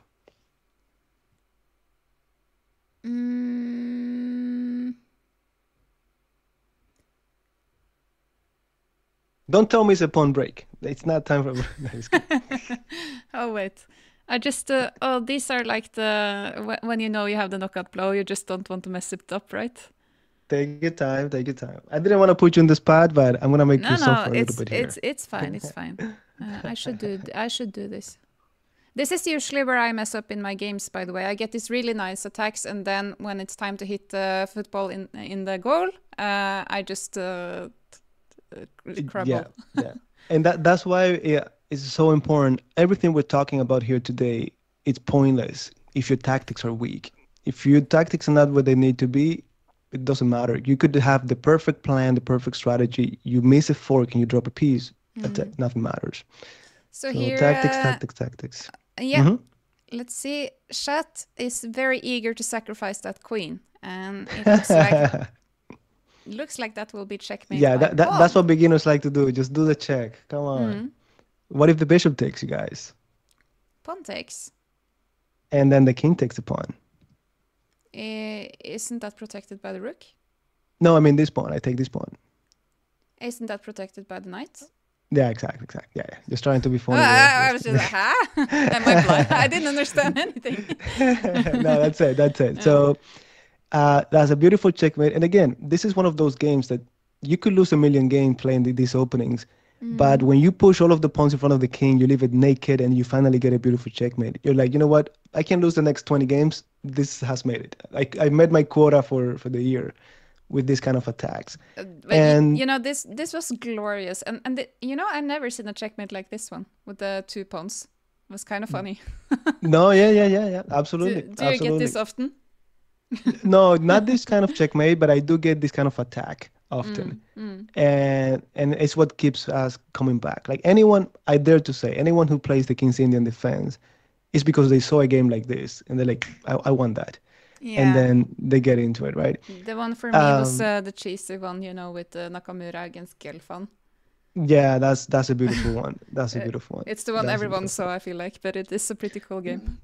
Yeah, no, and then you spend five years of your career trying to get it the same way, and no one plays it. but uh, but no, but it's really good. And uh, again, these concepts, please don't think, oh, you only get this if you play the King's Indian defense. Any position where you have the mm. locked center, and you you follow what the pawn structure is telling you, you're mm. going to get a similar attack. But again, it doesn't come after learn listening to this lecture. You need this lecture lots of games lost trying to make it work and then you finally get the get the yeah and you probably will not get it if you play uh, this queen side openings with lock center like french because then you're going to play on the queen side and there's usually no king there unless they castle exactly yeah, yeah yeah yeah. No i mean i mean there's something good there too don't get me wrong but it's a different kind of plan. If you're successful mm. on the queen side you're gonna probably gain material, penetrate, eventually get me in trouble. But if I'm successful on the king side, I'm going for your king, like you said, and it's gonna be checkmate. So right? I'm so very mad. Says feel like I'm the only fool that plays King's Indian defense, and I'm scared of pushing my pawns. as long as you understand the why, and again, we're doing it because the center is locked. The moment they, mm. if the mm. center is like this, where it could be easily opened up. Yeah. I don't want to push the F pawn because then they could hit me through the diagonals and so on. Mm. But when mm. this happens, I could just push the pawn like I did because you don't have diagonals to attack me with or through. You don't have lines to get to my king. Only when the center is locked. Don't mm. do it anytime, right? Mm. So that that's the whole point. And again, if you understand the plans, you know you should be you should be okay. Yeah, I think this uh, was a very good example because it shows you went for the uh, pawn break uh, on f5 and then you went pass, so then you need to go for the next pawn and then. Mm-hmm. Ex- exactly, exactly. And then exactly. once uh, that uh, last pawn break uh, disappeared, you showed how you can still open with a sacrifice. Exactly, exactly, exactly, exactly. And it all has to do with that. We were not able to get to that king until we made that pawn move. Pawns, mm. pawns, pawns. Yep. All right. So how are we doing with time? Do we have time for a few examples, or? Yeah, yeah. Let if me, you me... if you're up to it, we could definitely do a bit more. Just yeah, uh, let me uh, know because I could be here for I could be here for twenty hours. So I, I will, I will definitely let you know. I think people are enjoying. Glad to hear. And okay, so let me go to this older one, which again through the openings that I play, another King's Indian defense and I wanted to show it to you because it's a different kind of pawn break. You see here, pawn break, I'm attacking one of my enemy pawns by trying to disrupt their structure. And what I'm looking for here is typically, as a King's Indian defense player, I know when they do f3, bishop e3, queen d2. That's this is the same right? That's the Sämisch variation in the King's Indian defense. But regardless of the name, the one thing to remember is they are prioritizing queenside development. Notice how yeah. these guys have not even moved. Yeah. So I know from experience, but you should also smell the fact that they might be trying to castle queenside yeah. and then attack you heavily on the king side. So yep. this pawn break is a way for me to try to open up lines to attack the king when it goes to the other side. So it's just another way to use your pawn breaks. Mm-hmm. In uh, the games, typically we get something like this. You develop the knight. Notice how I'm not castling because I know what they're coming after. So the king stays in the center. Another principle that is flexible. I should castle, but I'm being flexible about that. I, I think this and is then, very funny. If I can just uh, shoot in here, because I I learned this plan from you, by the way, at uh, at YouTube. Uh, because I got mated so many times in this Sämisch variation. And I, I had a game pretty recently where I did this plan, and it was funny. It was online, but I could kind of noticed my opponent got very uh, thrown off because they exactly. didn't know what to do because I didn't castle kingside. So they were like, "But but what should I do then?" Because they started launching their pawns, but it wasn't really scary because my king was not on the king side. So exactly, exactly, and and that's that's something that that we see a lot. A lot of people when it's time to study, if you're the white pieces, we all know how to play against the Sicilian defense and the Nimzo Indian and this and that. When it comes to the Pirc defense, other openings, people don't really care that much. They're like, yeah, when when I get to play them, I'm gonna do this plan, very simple, and then attack them in my experience, the moment I take that away from them by not castling, they have no plan. And some of them, they still do it, even though my king is not there. And it becomes very, very easy. For, for example, here, all I need to do is take on c4. Thanks to my pawn break, I'm opening up the file and attack them. They might attack me on this side. Let's say they go, I'm even going to take because again, I couldn't care less. My king is not here. I I take and you say this is uh of course nonsense, but thanks to my open lines, I'm already um, picking up the fruits because yes. of the the pin, right? All right, so that was so just a quick I, I one. Just, I just want to go mention. Ahead, I just want to mention as well for for the beginner level viewers that, uh, of course, uh, when the opponent castles queenside, um, uh, and and you and you castle kingside, you usually get these positions when you start going for uh, a pawn storm. So so that is what white is dreaming of in, in this kind of position, because then they can just play on, on the h4, h5 plan and start storming you on the king side. So the thing is, when you notice that they're going to castle queen side, and you usually castle kingside. maybe just by delaying castling a bit, uh, you, you can throw them off a bit with their usual plan and shenanigans. Ex- exactly. That's a, that's a good point. And actually, that's this is the plan that almost made me stop playing this opening. I was getting killed every single time I almost gave up on it until I finally said, "Wait, wait a minute. What what is the problem?" Well, let me let me stop casting. But just like you said, I actually went I went very fast there. This is what they're looking for. Let's say I keep doing my thing. They want to make contact. Forget about taking because you open up your king. But even if you don't, let's say I keep bringing my pieces. They play bishop a6 to remove this great defender that we have. And let's say we take. Now, they take, they take, and of course, you could take with here, which is not that good, but just to show you my point, you can see the easy plan. Thanks to the final break, mm. they just have this checkmate. And again, it has to do with the pawn break. This is a pawn break right here, just to open up the file. That's it. This is what they're looking for. This beautiful checkmate. I fell for it many, many times until I finally said, no more. Let me just leave the king on in the center and come get, come get me here if you want, right? Yeah, and this is so, also the importance of uh, analyzing your games as a beginner because then you will catch it if you lose in the same way a lot of times, and then if you if you lose exactly. in the same way a lot of times, then it's time to start uh, trying something new. Hundred percent, yes, hundred percent. All right, let me see what else I had here. Uh, I think. By the way, uh, chat is uh, complimenting you, saying you're a great teacher. Uh, thank you, thank you. That they're having a lot of fun. Well, glad to hear. That's until they get really advanced and they're like, you know what, that guy was not that good. now that I'm more advanced. no, no, thank you, thank you. Um, I really wanted to. Okay, so I wanted to show you this other game again quickly. This was not one of my games, but it's a game that I like a lot. Um, same thing you mentioned. They go queenside, mm. and um, the black pieces quickly realize, well, I need to make contact. I need to attack you. So f3, bishop b7, h4, trying to make contact as well, mm. h6, and this is very important because now, if they play um, h5, what do you think we should do? How G5? would you react to that? G5, exactly. Go if you start to get the hang of it, you lock down the um, the bishop queen. The file. Uh, yeah, exactly. Exactly, exactly. So very careful not to open up. It's going to be very easy for them to make contact. Um, to be honest, many times when I play this, I see h4, I just play h5, and that's mm. a good way to just keep them at margin. In the game, they just played it like this, then rook c8. Notice how the rook is on the same file as the king, but more importantly, you can see already what pawn break we're going to have. c5 is cooking. Yes. So after g5, they took. Again, I typically just play h5, keep everything locked, but uh, the black pieces in this case decided to take. And after bishop takes, pawn to c5, knight takes, bishop h3 hitting the rook, we have a very nice move, which is pawn to b4. Just and basically, they're, exactly, they're saying, if you take my rook, I'm going to take your knight, hitting the queen, so you don't have time to do anything here. Mm. When the queen leaves, I get your bishop as well. And this is very important. Um, I've seen this a lot with beginners. Yeah, yeah. It takes a while to understand that two minor pieces are better than a rook. Mm. So that's what we're saying here. Give me the knight and the bishop for the rook. It's just better for us. Mm. But not only that, if I get to take here, if you take me back, mm. your king is exposed. This b pawn is going to be gone from the b file. I should be able to attack your king, especially since I have this powerful bishop over here.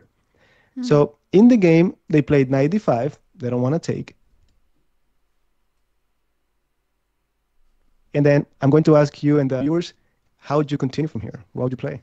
Sorry, you just uh, lagged a little bit here, but uh, yeah, you asked uh, what we would so, play here.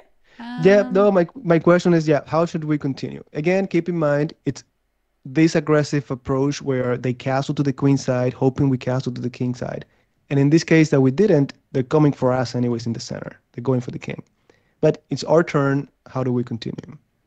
Mm, okay. Uh, immediately, I want to sacrifice my bishop on b2, but I'm going to calculate this time, like you said last time. I, I, will, okay, I will do go. it. I will do it the right way. there you go. By the way, no one has said it's the right way. Don't, just in case. No, no, no, no. we should. We should calculate. Uh, I it just immediately. I think it looks good because you can follow up with knight, uh, knight uh, check. You could get queen in. Uh, and I just feel like this has to be good. But uh, I'm being a bit lazy now.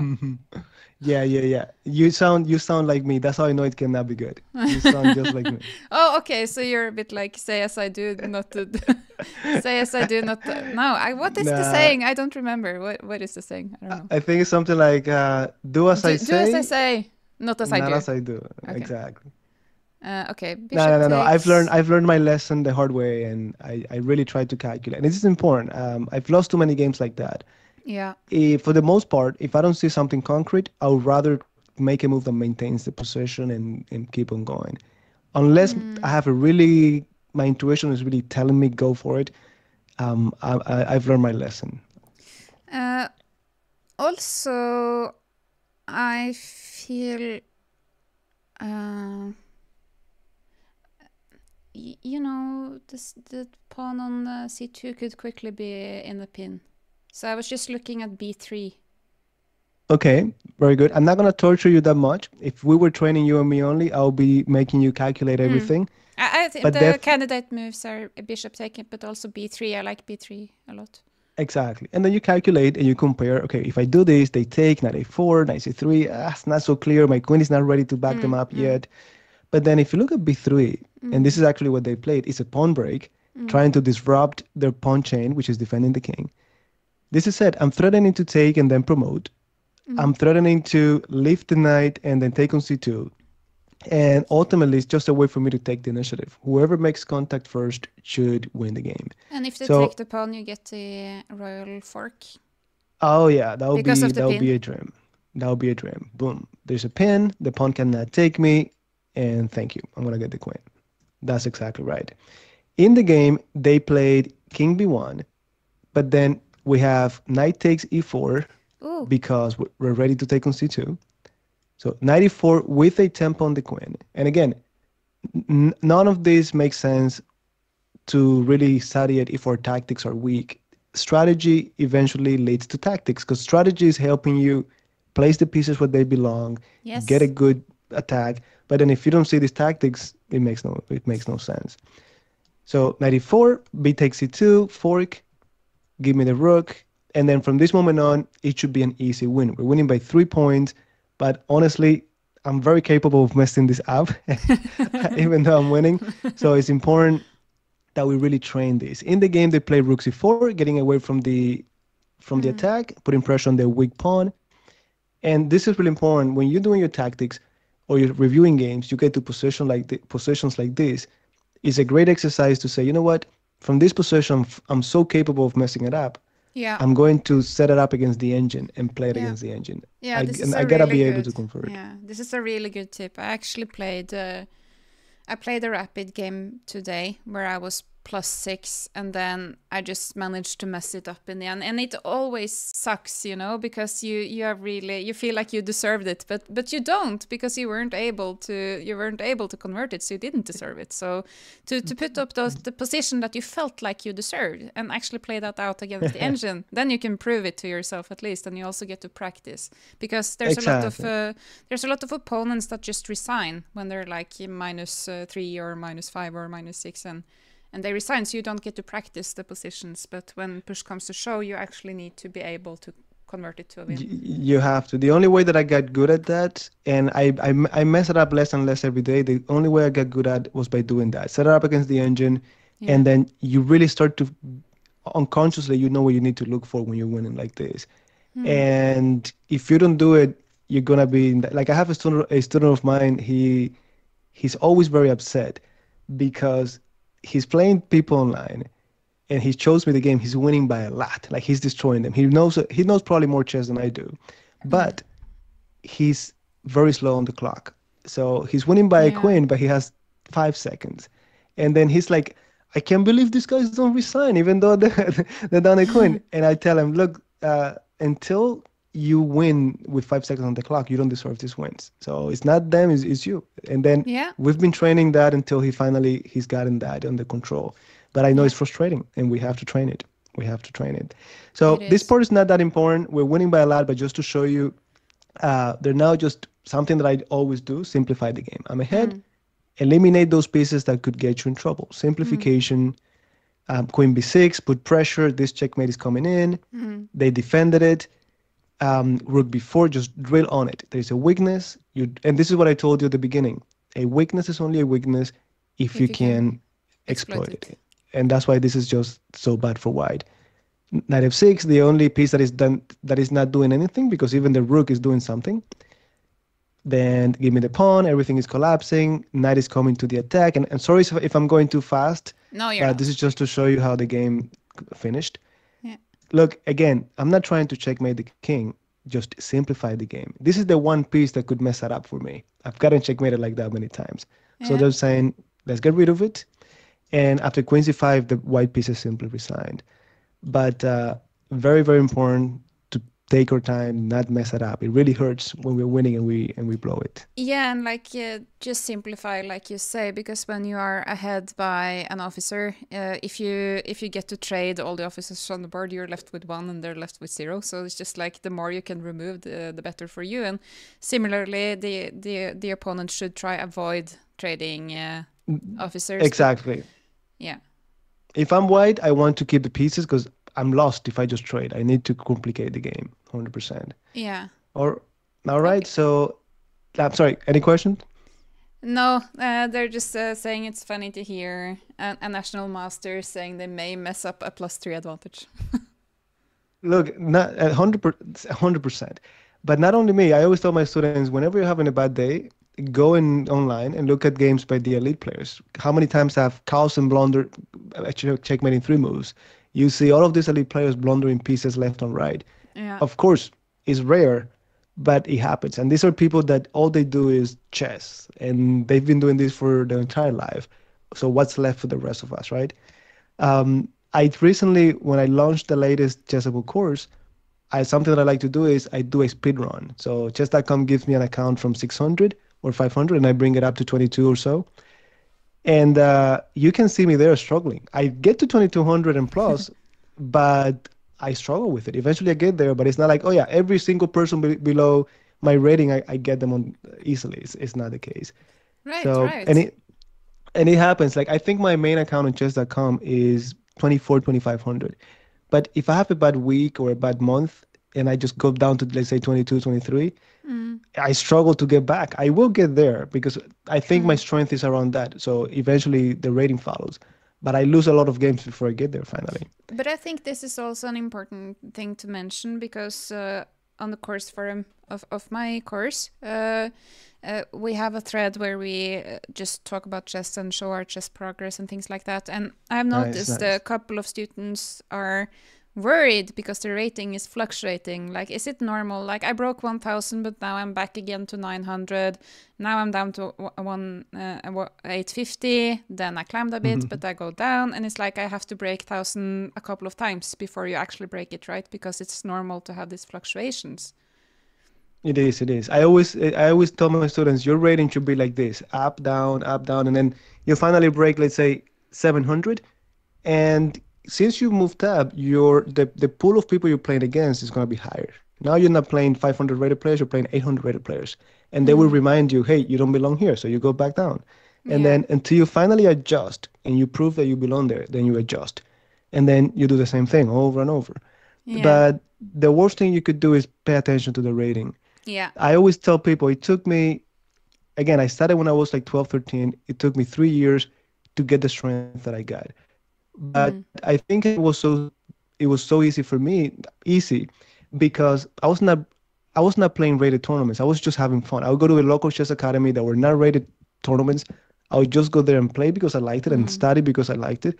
So it was three years just having fun. I never looked at my rating. When I finally came to the US and I played rated tournaments, boom, I got to 2300 mm. because of the strength that I got. But I got the strength by just playing, just having fun. Yeah, I think it's a, it's a bit. Uh it's a bit of a bummer actually that uh, there's so much focus on rating because it shouldn't really be be a focus. And uh, i think that's one of the most important things you you should learn to cope with as a beginner is to not pay so much attention to it because you're only going to get it's frustrated. human nature. It's, it's, human nature. We, we want to measure it. We want to compete. Yeah, but but even uh, Magnus Carlsen said recently in an interview that uh, his classical rating sucked. That was like quote that was what he said. And it's like if magnus carlsen thinks his classical rating sucks i don't think anyone is happy with their rating then. So you yeah, yeah really exactly. No no you should not care. And actually there's i think there's an, uh, an, an anecdote of uh, i think if the student goes to the teacher and tells him hey um, if i focus more than my my, my fellow students uh, how long would it take me? And the teacher is to, to get there to the goal. And the teacher is like oh like 10 years or something like that and then he goes uh, something like okay if i if i work twice as much or something like that. And the end of the story the teacher is like no it's going to take you uh, twice as much. And then he goes like how much if I, uh, how come if i'm going to be working twice? And the bottom line is the guy the teacher is like well it's going to take you longer because you have one eye training and one eye on the goal. Mm. and you should have both eyes just training focused and and and that's uh, that oh, was that, my experience that's a really good uh, way of putting it actually. That's a very yeah, good way I, of putting I, it. I, I ruined the story but you get the point. No no no I, I, got, I got the point.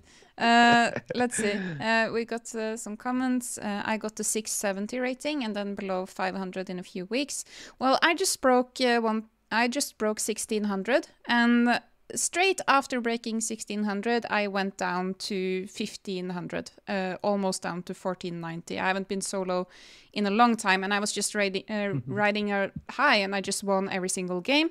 And then uh, when I broke that uh, threshold, I just bumped uh, down by a lot. And it's just like, I don't really care about it, to be honest. It's a uh, uh, then I get to play some weaker players now and have a bit more fun. And then I, when it, I get it, up again, it will get harder. But it's the way it is. If you're yeah. training consistently, you don't have to worry about anything else. And again, mm. it's it's like anything in life. Just put the time, the consistency, and forget about that. Mm. Um, it, it, it, it's the same thing with. I, I was talking to a student of mine about investing the other day, and and and we're talking about that. If you don't worry so much about uh, like the stock market, we're talking about that. If you don't worry too much about if the market is up or down, if you just mm. do it consistently over and over, those up and downs are eventually gonna um, happen no matter what, and you, it's gonna work out for you anyways. So just forget about that. Just train, train, train. If you go down, fine. You go up, fine. Just keep training. If you see that you've been too long in a rating range, then talk to someone. Okay, hey, mm. can you look at my games? What what am I missing? Mm. You said 1600. In my experience, a lot of the students that I work with, what it what they're lacking to get to 17 to 1800 is endgame. They've gotten yeah. to 15, 1600 because they're so good at tactics. That's what they've been doing for the last since they started. Yeah. And those tactics plus knowing their openings got them to that level, but then they cannot get to 1800, and that's because their end game is not there. So yeah. now it's time for them to train end game. So something I to lose, think about. I lose a lot of games in the end games unless I find a cool end game tactic. So I, I guess that's um, that's pretty correct. But also I have a nasty habit of resigning too soon because I believe too much in my opponent. So I'm like one of those, okay, I drop an officer and I'm just like, okay, you will be able to win this, so I'll just resign.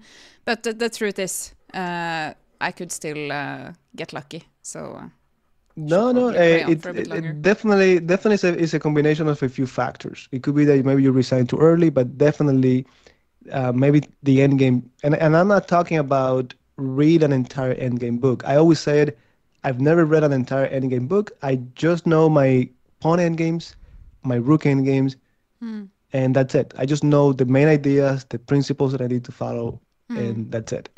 Mm. All right. Okay, let's uh, so look at some more Yeah, let me just. I have just a couple more that I wanted to go over here. Yep. And. Mm. See, I'm so very mad. I stopped playing Rapid because I got to 1650. Can't go back down if I never play. Yeah, but then you won't have any fun then. then uh, you will, no. not be playing any chess. Maybe you need to start a new account then. no, look, something that uh, uh, I have this uh, this um, person. She followed me. She followed my YouTube channel. She tells me, "Oh, I started playing chess because of a YouTube channel." She's from India. Mm. She hmm. tells me the story. One day, she, I don't know what happened. She was not doing great in life, and she looked at the YouTube channel. She started playing chess just to get her head off that situation and she actually got really high, like 1900 or something like that on Lichess. But one thing she did is there's an option. I don't know exactly where it is, but there's an option that you can hide yeah. the ratings for you and your mode. opponent.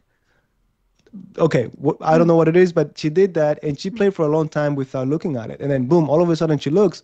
I'm I'm playing at the 1900s.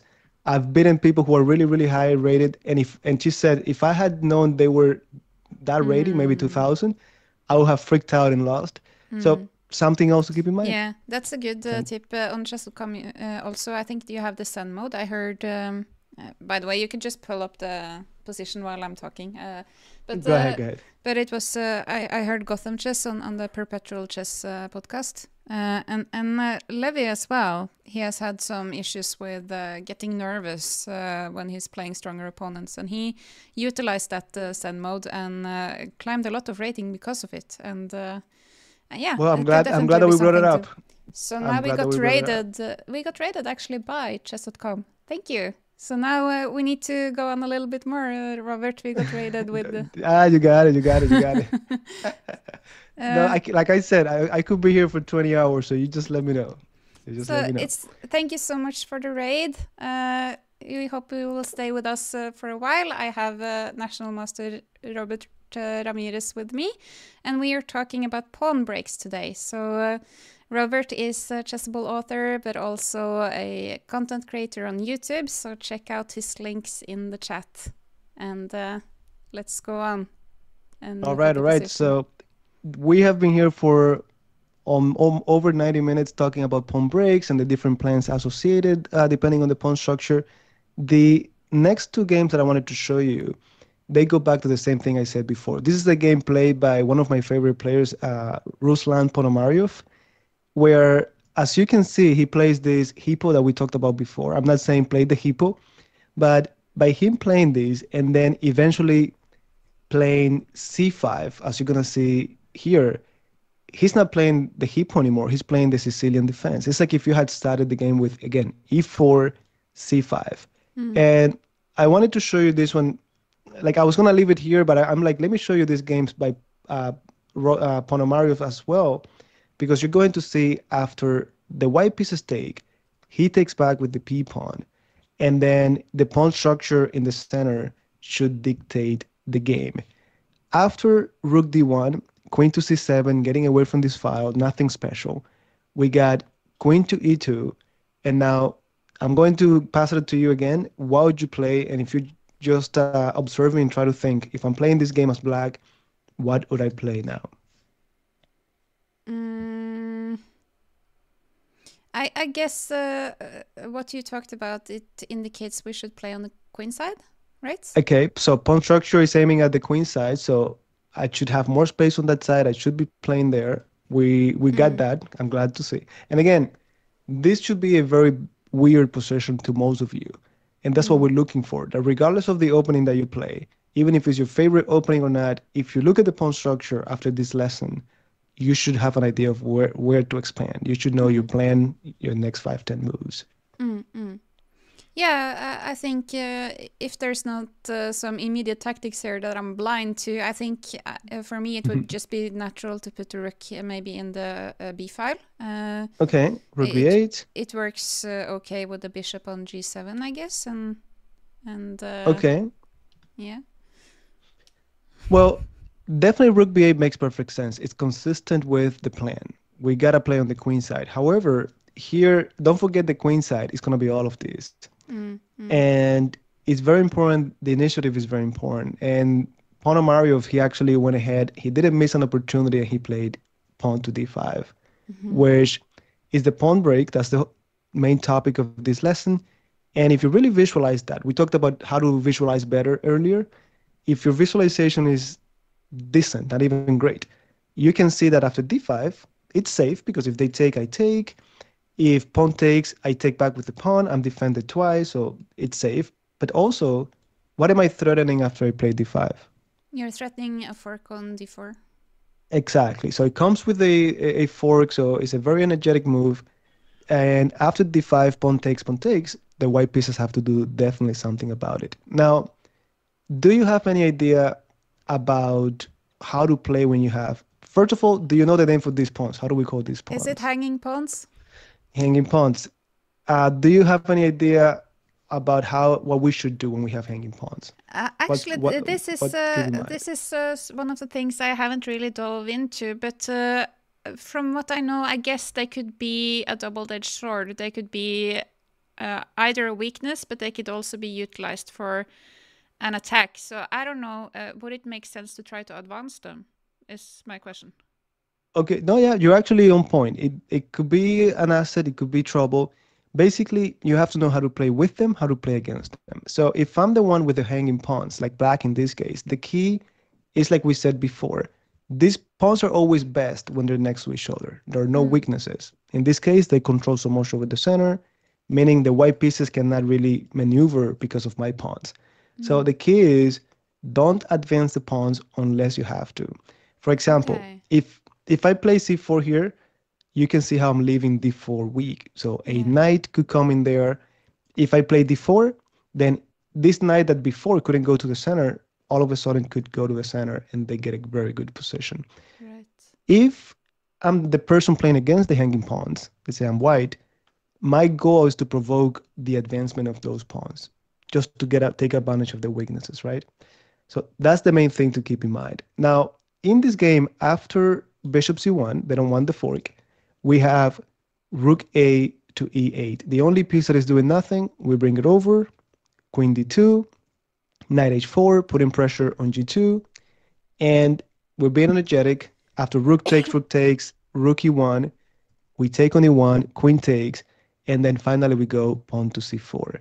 Notice how it comes with a tempo, and in the following move, I can play d4 and put them next to each other again. Mm. Really, really important. If I had done okay, it before, so, so you can you can advance them, but you should make sure both of them are advanced so that they stay on a line, basically. exactly, exactly. I like to say, make sure you advance them when you have a good reason for it, right? Mm. And but yeah, if they could continue to be next to each other, that'll be ideal. Notice that if I did this right now, they're already taking on g6, doubling Yeah. up my pawns. Yeah. Then d5 is gonna be left behind. Yeah. d4 will, will not happen. So those are the little things to keep in mind. So Now- if I understand you correctly, uh, you advanced them there because you had a good reason to. It's not like it is the goal to to further them. Is that correct? Exactly, exactly, exactly. If you visualize the couple moves down the road, you could see from here, okay, if I go c4, bishop moves, then I have d4. I can see that far, pawns are next to each other again, their pieces are moving back. I like that position, right? And that's exactly what happened. Keep in mind, this is Ponomariov, very strong grandmaster playing against another grandmaster. So this is not like him playing against me that I'm gonna make any mistakes. It's just pushing the pawns, mm-hmm. and then from here, many times we get such a nice position like this, and we blow it. I've done it many, many times. Yeah. So this is just not good enough. Now we have to continue to be energetic. They're hitting the pawn on d4, so he went queen to c5, and knight to e4, just being energetic, putting pressure, putting pressure. By the way, knight e4 opens up the bishop. So knight e4. And, and just uh, just a quick uh, question: When you say like uh, they're Mhm. being energetic, you mean uh, you're making like uh, active, moves, Aggressive. You're you're advancing. You're playing moves that comes with a tempo. Exactly, exactly. And this is very important for beginner players. I always give the same analogy. Let's say you start doing boxing, and the first class, they have you box against another beginner. I think the best strategy is to just throw punches, even if you don't know how, because the other person also doesn't know how to defend. They haven't learned yet. So it's the same thing here. If you're a beginner, and that's going back to the Gulko advices, uh, Gulko always says it's easier, way easier to attack than it is to defend, and it's true. So even if I do a move here that is not right, but it's an aggressive move, my opponent needs to prove that it's wrong. They need to find the right defensive move, and it's much easier to find attacking moves than it is to find defensive moves. And my favorite quote from Gulko is he says, typically when you're attacking, the best move is a beautiful looking move. And typically when you're defending, the best move is a very ugly move. So it's, it's, it's not it's not that easy to find. And I've I, again, if you're a beginner, intermediate, if you can be energetic, don't worry if it's the best move or not. If you can be energetic, you're pushing your opponents to make mistakes. They're gonna be under pressure, and that's very very valuable. Um, at the big at the ma- grandmaster level, like in this game, well, the initiative is just so important. Mm. I don't know about you, but I would much rather be black than being white. I don't know how you Yeah, feel if you look at it it from white. uh, it looks so ugly and passive, and you're just- you're just cramped into a corner. Uh, so uh, and and and what I tell always my students is when I play against grandmasters, I always thought, well, if I play grandmaster, they're so much better. They're going to destroy me in 20 moves, game over, just go home.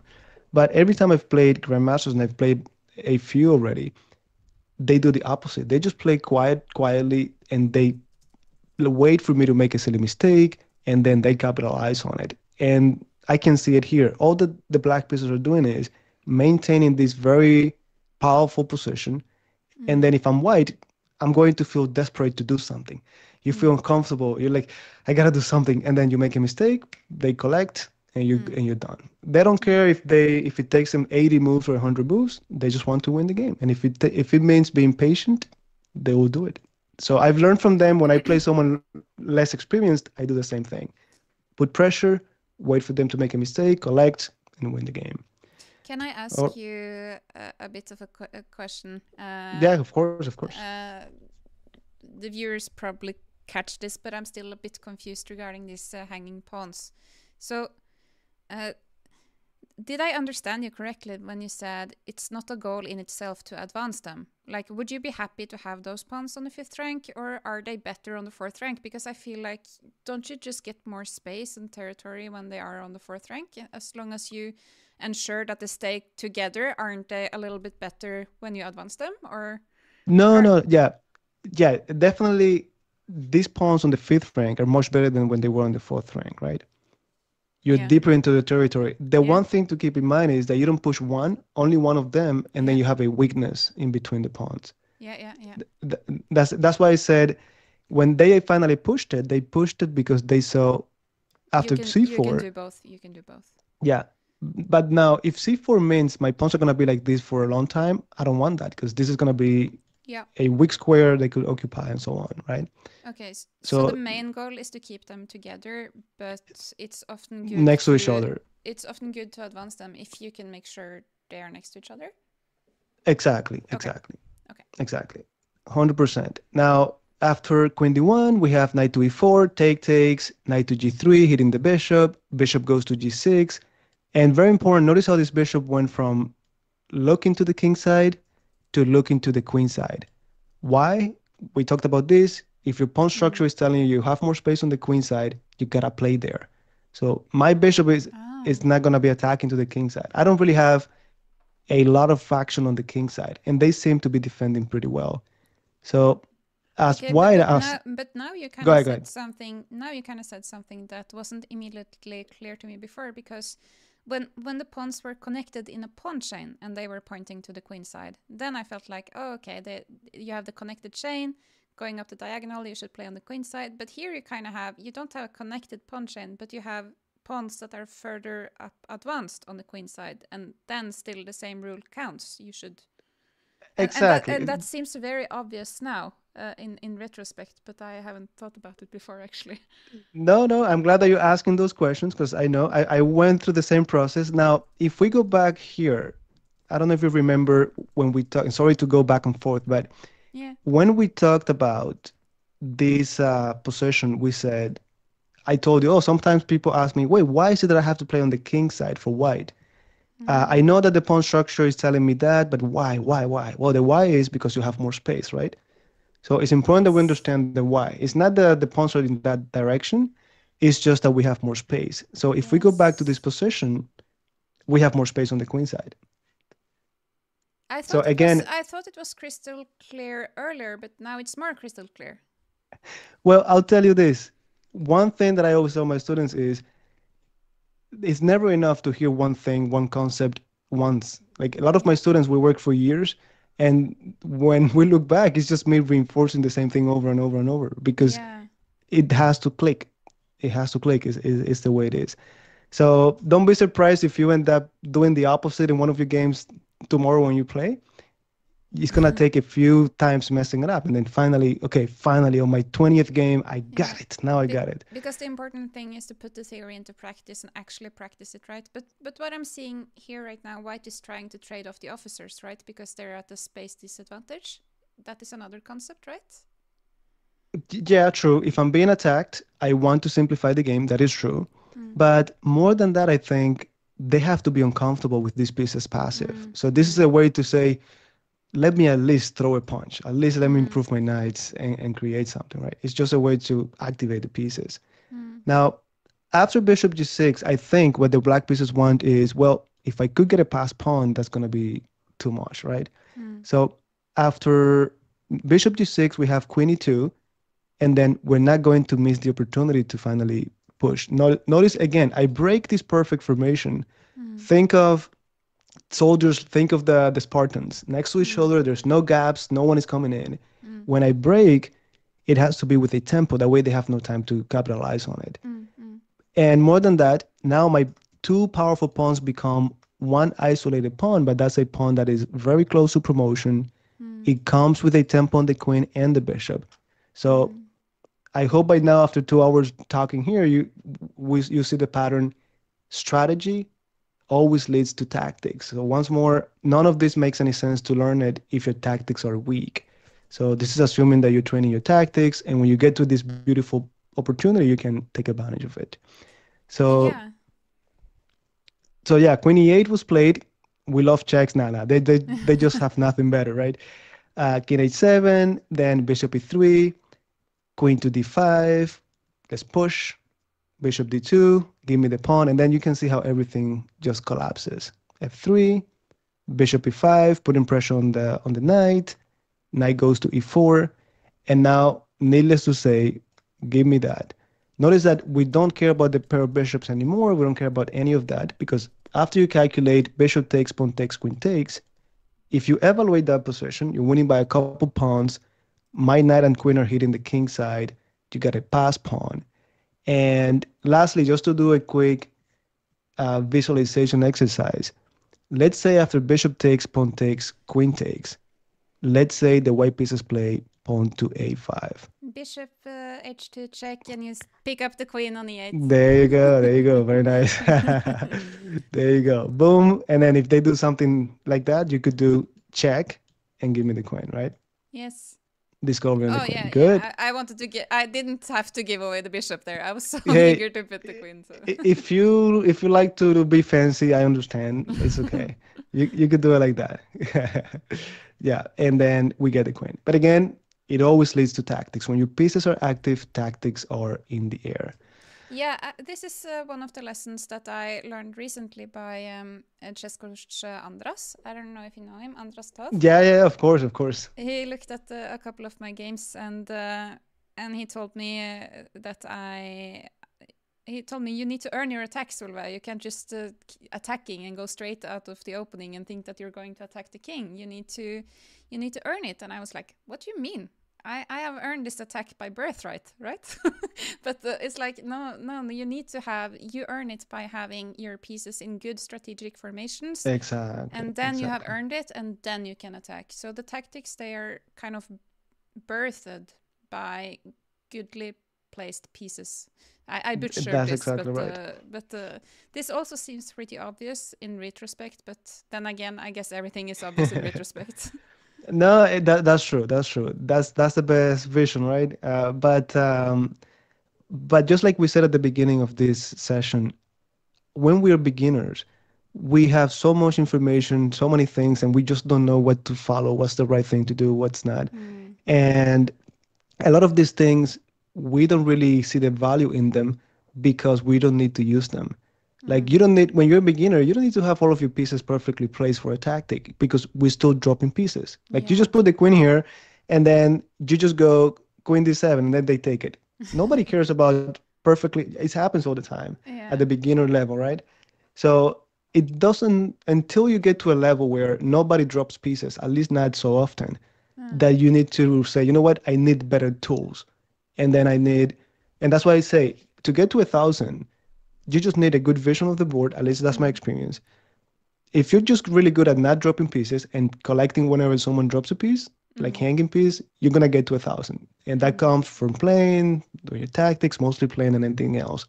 To get to, let's say 13, 1400, now you need to be good at simple tactics like the forks, the pins, checkmate in one move, checkmate in two moves. Those two move combinations, that's gonna get you there. Then to get to the next one, well, you're going to need a little bit more visualization. You need your end games already to be taking shape, mm-hmm. and you need your openings to be a little bit better. And then when you get to 17, 1800, then you need to bring other things to your to your arsenal. Mm. And it's just the way it goes. The thing is that when I say it to my students, when we meet for the first lesson, I tell them what we need to do and where we're going, and everyone is so pumped and they're so ready mm. for it and then when they start doing the actual work they, they, they see that to get from this to this step it takes a lot of time. Yeah. and then it's not unless you're doing this for fun it's you're gonna get frustrated you're gonna give up. Yeah. You're gonna give up. So anyways um, i think i'm gonna leave it here. If yeah. you have any questions i'm happy to go further to answer questions.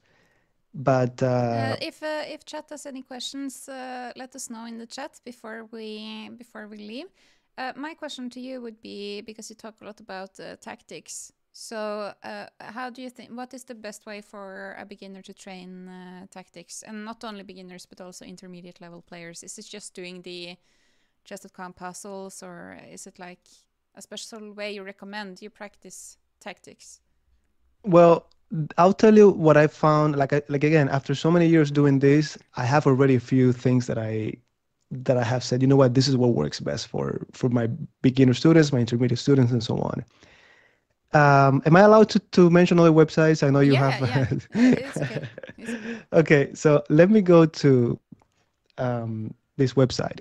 There are two. When it comes to tactics, there are two main areas that I found out that we need to work on, which is the quick thinking, the quick tactics, and then we need the deeper calculation, right? So three moves calculation, four move calculation, and so on. So one of the main things that I'm using, and if you guys know of any other website where you could do this, please let me know because I'm always looking for resources. But in case you're not, and also let me know. Uh, let me know if you can see my screen. I, I went to a different website. You can see it, right? Yeah. Oh, you know what? I think I think you had cropped the board. I don't know if it's visible to see the whole thing. Yeah, I guess uh, maybe just uh, talking about it is fine. No, so I, I don't have to redo the. you got it. You got it. Well, uh, I like Chess Tempo. Uh, there's one tool here where if you're in Chess Tempo, you get you create a free account. Um, you go to training chess tactics. There's one option where you click on change set. Now, one of those sets is called Blitz. So basically, what it does is you set the difficulty level. Let's say easy, medium, it doesn't matter uh, play around with that. Once you start, I like it because they give you a tactic, and basically we're waiting for them to move. Like in a real game, they made the move. You gotta make your move right now, and the point is, let's say my move is queen b7. Boom, that's a fork, and I get the knight. Perfect. Now, typically when you do this on other websites, they give you your points. Like they gave me five five point nine, but uh, since this is the blitz set, there is uh, some stats over here. Maybe you don't see it, but it says this exercise has been done 1,274 times. 82% of them solved them correctly, and they spent an average of 31 seconds. So that means that I spent nine seconds to find it. But if I had spent, let's say, more than 31 seconds, even if I get it correct, they take time off. So this is going to condition your brain to not, to not only find the tactics, but find them quickly. And this is what I found to be really successful to help my students find th- this quick thinking. Like you're playing a game, there's a hanging piece, you see it quickly. There's a fork, you see it quickly. This has helped a lot. We also use chess.com just with the regular tactics. Um, I like combining this, the blitz set, with solving mates in three, mates in four. Maybe you struggle to find mates in two. Okay, do lots of that. You could find a book, you could do it on chess.com, you could do it on the chess, here in Chess Tempo as well. If you get really good at that, well, let's do mates in three. Can you calculate mates in three? Then let's do mates in four. And I like doing it for a while with mates because you know what you're looking for. You're looking for mates. And you just need to calculate. Can you see it clearly until the end? Don't move the pieces. Don't do the first move because that's another thing. A lot of people are like, ah, you know what? It should be this one. Let me do it and see what happens next. No, no, no. if you don't yeah. see the whole thing in your head, then it's not good. Even if you get it right, you it defeats the purpose. So for tactics at this level, beginner, intermediate, that's uh, what I found to be more successful. Of course, I'm not saying do it two days and you're good. I'm talking about consistently over an extended period of time. Yeah, and then uh, we got uh, one more question for you before uh, before we let Talk you to go. me. Uh, and I guess this is a question you're going to like. Uh, at what point do you need to seriously learn opening theory? well, um, we always say the general advice is you start by no learning, not learning anything about openings. Just play, capture pieces. Just uh, I tell my students it's like playing what's that game? Uh, Pac-Man. You just eat, it eat. So just eat, right? And then you start learning about the principles, not the openings, but develop your minor pieces, control the center, castle, and then eventually you start learning openings, but you don't learn an entire course on an opening. You just learn the first five, six moves to get the ideas and so on, and so, and, and and and keep on going. That's the general advice. For me, I think whenever you get to that point where you're not dropping pieces like a complete beginner, it's okay to start picking up an opening to start playing it. I have mm-hmm. students who are 1000 on chess.com and they play the Sicilian defense. Now, anyone, any coach experienced will tell you, what do you mean a 1000 playing the Sicilian defense? It makes no sense. But to me, I don't care because they're not going in and spending two hours a day to learn the Sicilian. It could be because we reviewed a master game just to talk about tactics. They saw that Kasparov played the Sicilian and they want to play it. Play it. They just know the first five, six moves because they saw it in Kasparov games. They don't know any more than that. But you know, they start to play it like that. They see the pawn structure, and then the game goes in its own direction. And they're playing the Sicilian because they play c5 as the first move. But then five moves later, they're just playing chess.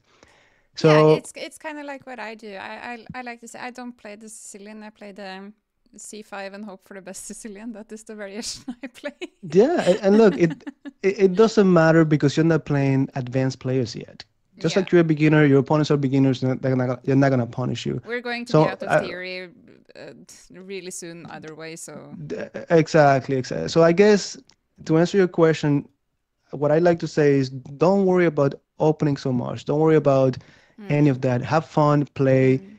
The one thing it's like in in, and again, I always like to relate it to life. In life, you always hear people talking about diet. What's the best diet? What's the best thing? Mm. And at least in my experience, what I've read and what I understand is that we don't know about diet, but one thing that is good for sure is exercising. Mm. If you exercise, that's proven to be good. So the same thing in chess. Tactics is proven to be good. Mm. That's the most important thing. Uh, 90% is tactics, tactics, tactics. And to wrap up, I can always I always say the same example if you ever go to New York, uh, there's it's very popular. You go to different parks and they have people playing like street players. Um, and which reminds me, when I was in Cuba, we had the chess academy, and outside there was always a table for anyone from the street to come and play. When I was a beginner, I would play with these guys. Just like when I went to New York, I had to play these other guys, and you can tell they don't really know any openings. They do the most bizarre op- uh, opening moves but they're there playing all day, smoking, just talking trash and playing. that they're really good at vision of the board. Mm. You leave a piece hanging, they'll see it immediately. They can see a two-move combination, mm. and they'll beat me left and right until I finally got my tactics where they needed to be. Yeah. But if if those guys could beat you without opening, that that shows is the most important thing: the tactics, the vision of the board. So something yeah, to keep in mind. That's great, uh, Robert, and uh, thank you so much for for joining us today. It's been a lot of fun, and I've learned, a, My learned pleasure. a lot of new things. and also, again, uh, check out uh, uh, Robert's uh, Chessable courses, and also his YouTube is amazing. He has a lot of free content from beginner to master level YouTube playlist. That's really great even though you're not playing the King's Indian or anything like that, uh, you know, there, there's a lot of things to learn there. So I would highly recommend checking it out. And uh, yeah, thank you so much for being here with us today, uh, Robert. And uh, my pleasure. And, and, feel free to reach out. Anything else you need, happy to to help. Yeah, that's that's awesome. Thank you so much. Chat is thanking you as well. So uh, enjoy your day. Thank you. You too. Bye bye. bye bye. Oh, that was uh, a lot of fun. I really enjoyed that uh, a lot. I think you guys uh, liked it as well. Uh, seems like you're kind of happy at least. I'm really happy I got to have uh, Robert on. He's uh, such a cool guy. And I meant what I said. It's like his YouTube channel is just a mine of gold. I've learned a lot uh, by watching that YouTube channel. And I, I, just think it's so nice when people put out uh, free content like that because, you know, it's not everyone who has um, the opportunity to have you know private coaching and things like that so to have people putting out this free content is just so invaluable and uh, i think i'm going to log off as well but uh, do you guys have any suggestions who we should raid? We should probably raid someone so and send you over to some channel. Do you know someone who's streaming right now or streaming chess i should say? If you do, please uh, help me uh, write some suggestions in the chat. Yeah, of course, uh, John Chandler and uh, everyone else. Thank you so much for being active in the chat. Um, it's been really great to see you guys again. I'm on my summer holiday now, so I'm going to do uh, more streaming. I'm going to do some uh, serious chess training, going to do some rapid games and things like that. So, you don't have any suggestions for who to stream? I guess I will check out Twitch myself then and see if I know anyone who's streaming.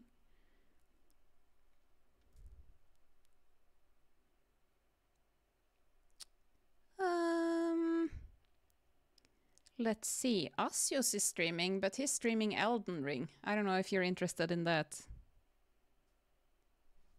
You know what? I think I'm going to raid Asios. So I'm sorry if you don't like uh, Elden Ring, but uh, you know it's a it's a friend of Magnus Carlsen. So uh, say hello for me, and uh, thank you so much for uh, for being here with me today. It was amazing, and uh, see you next time.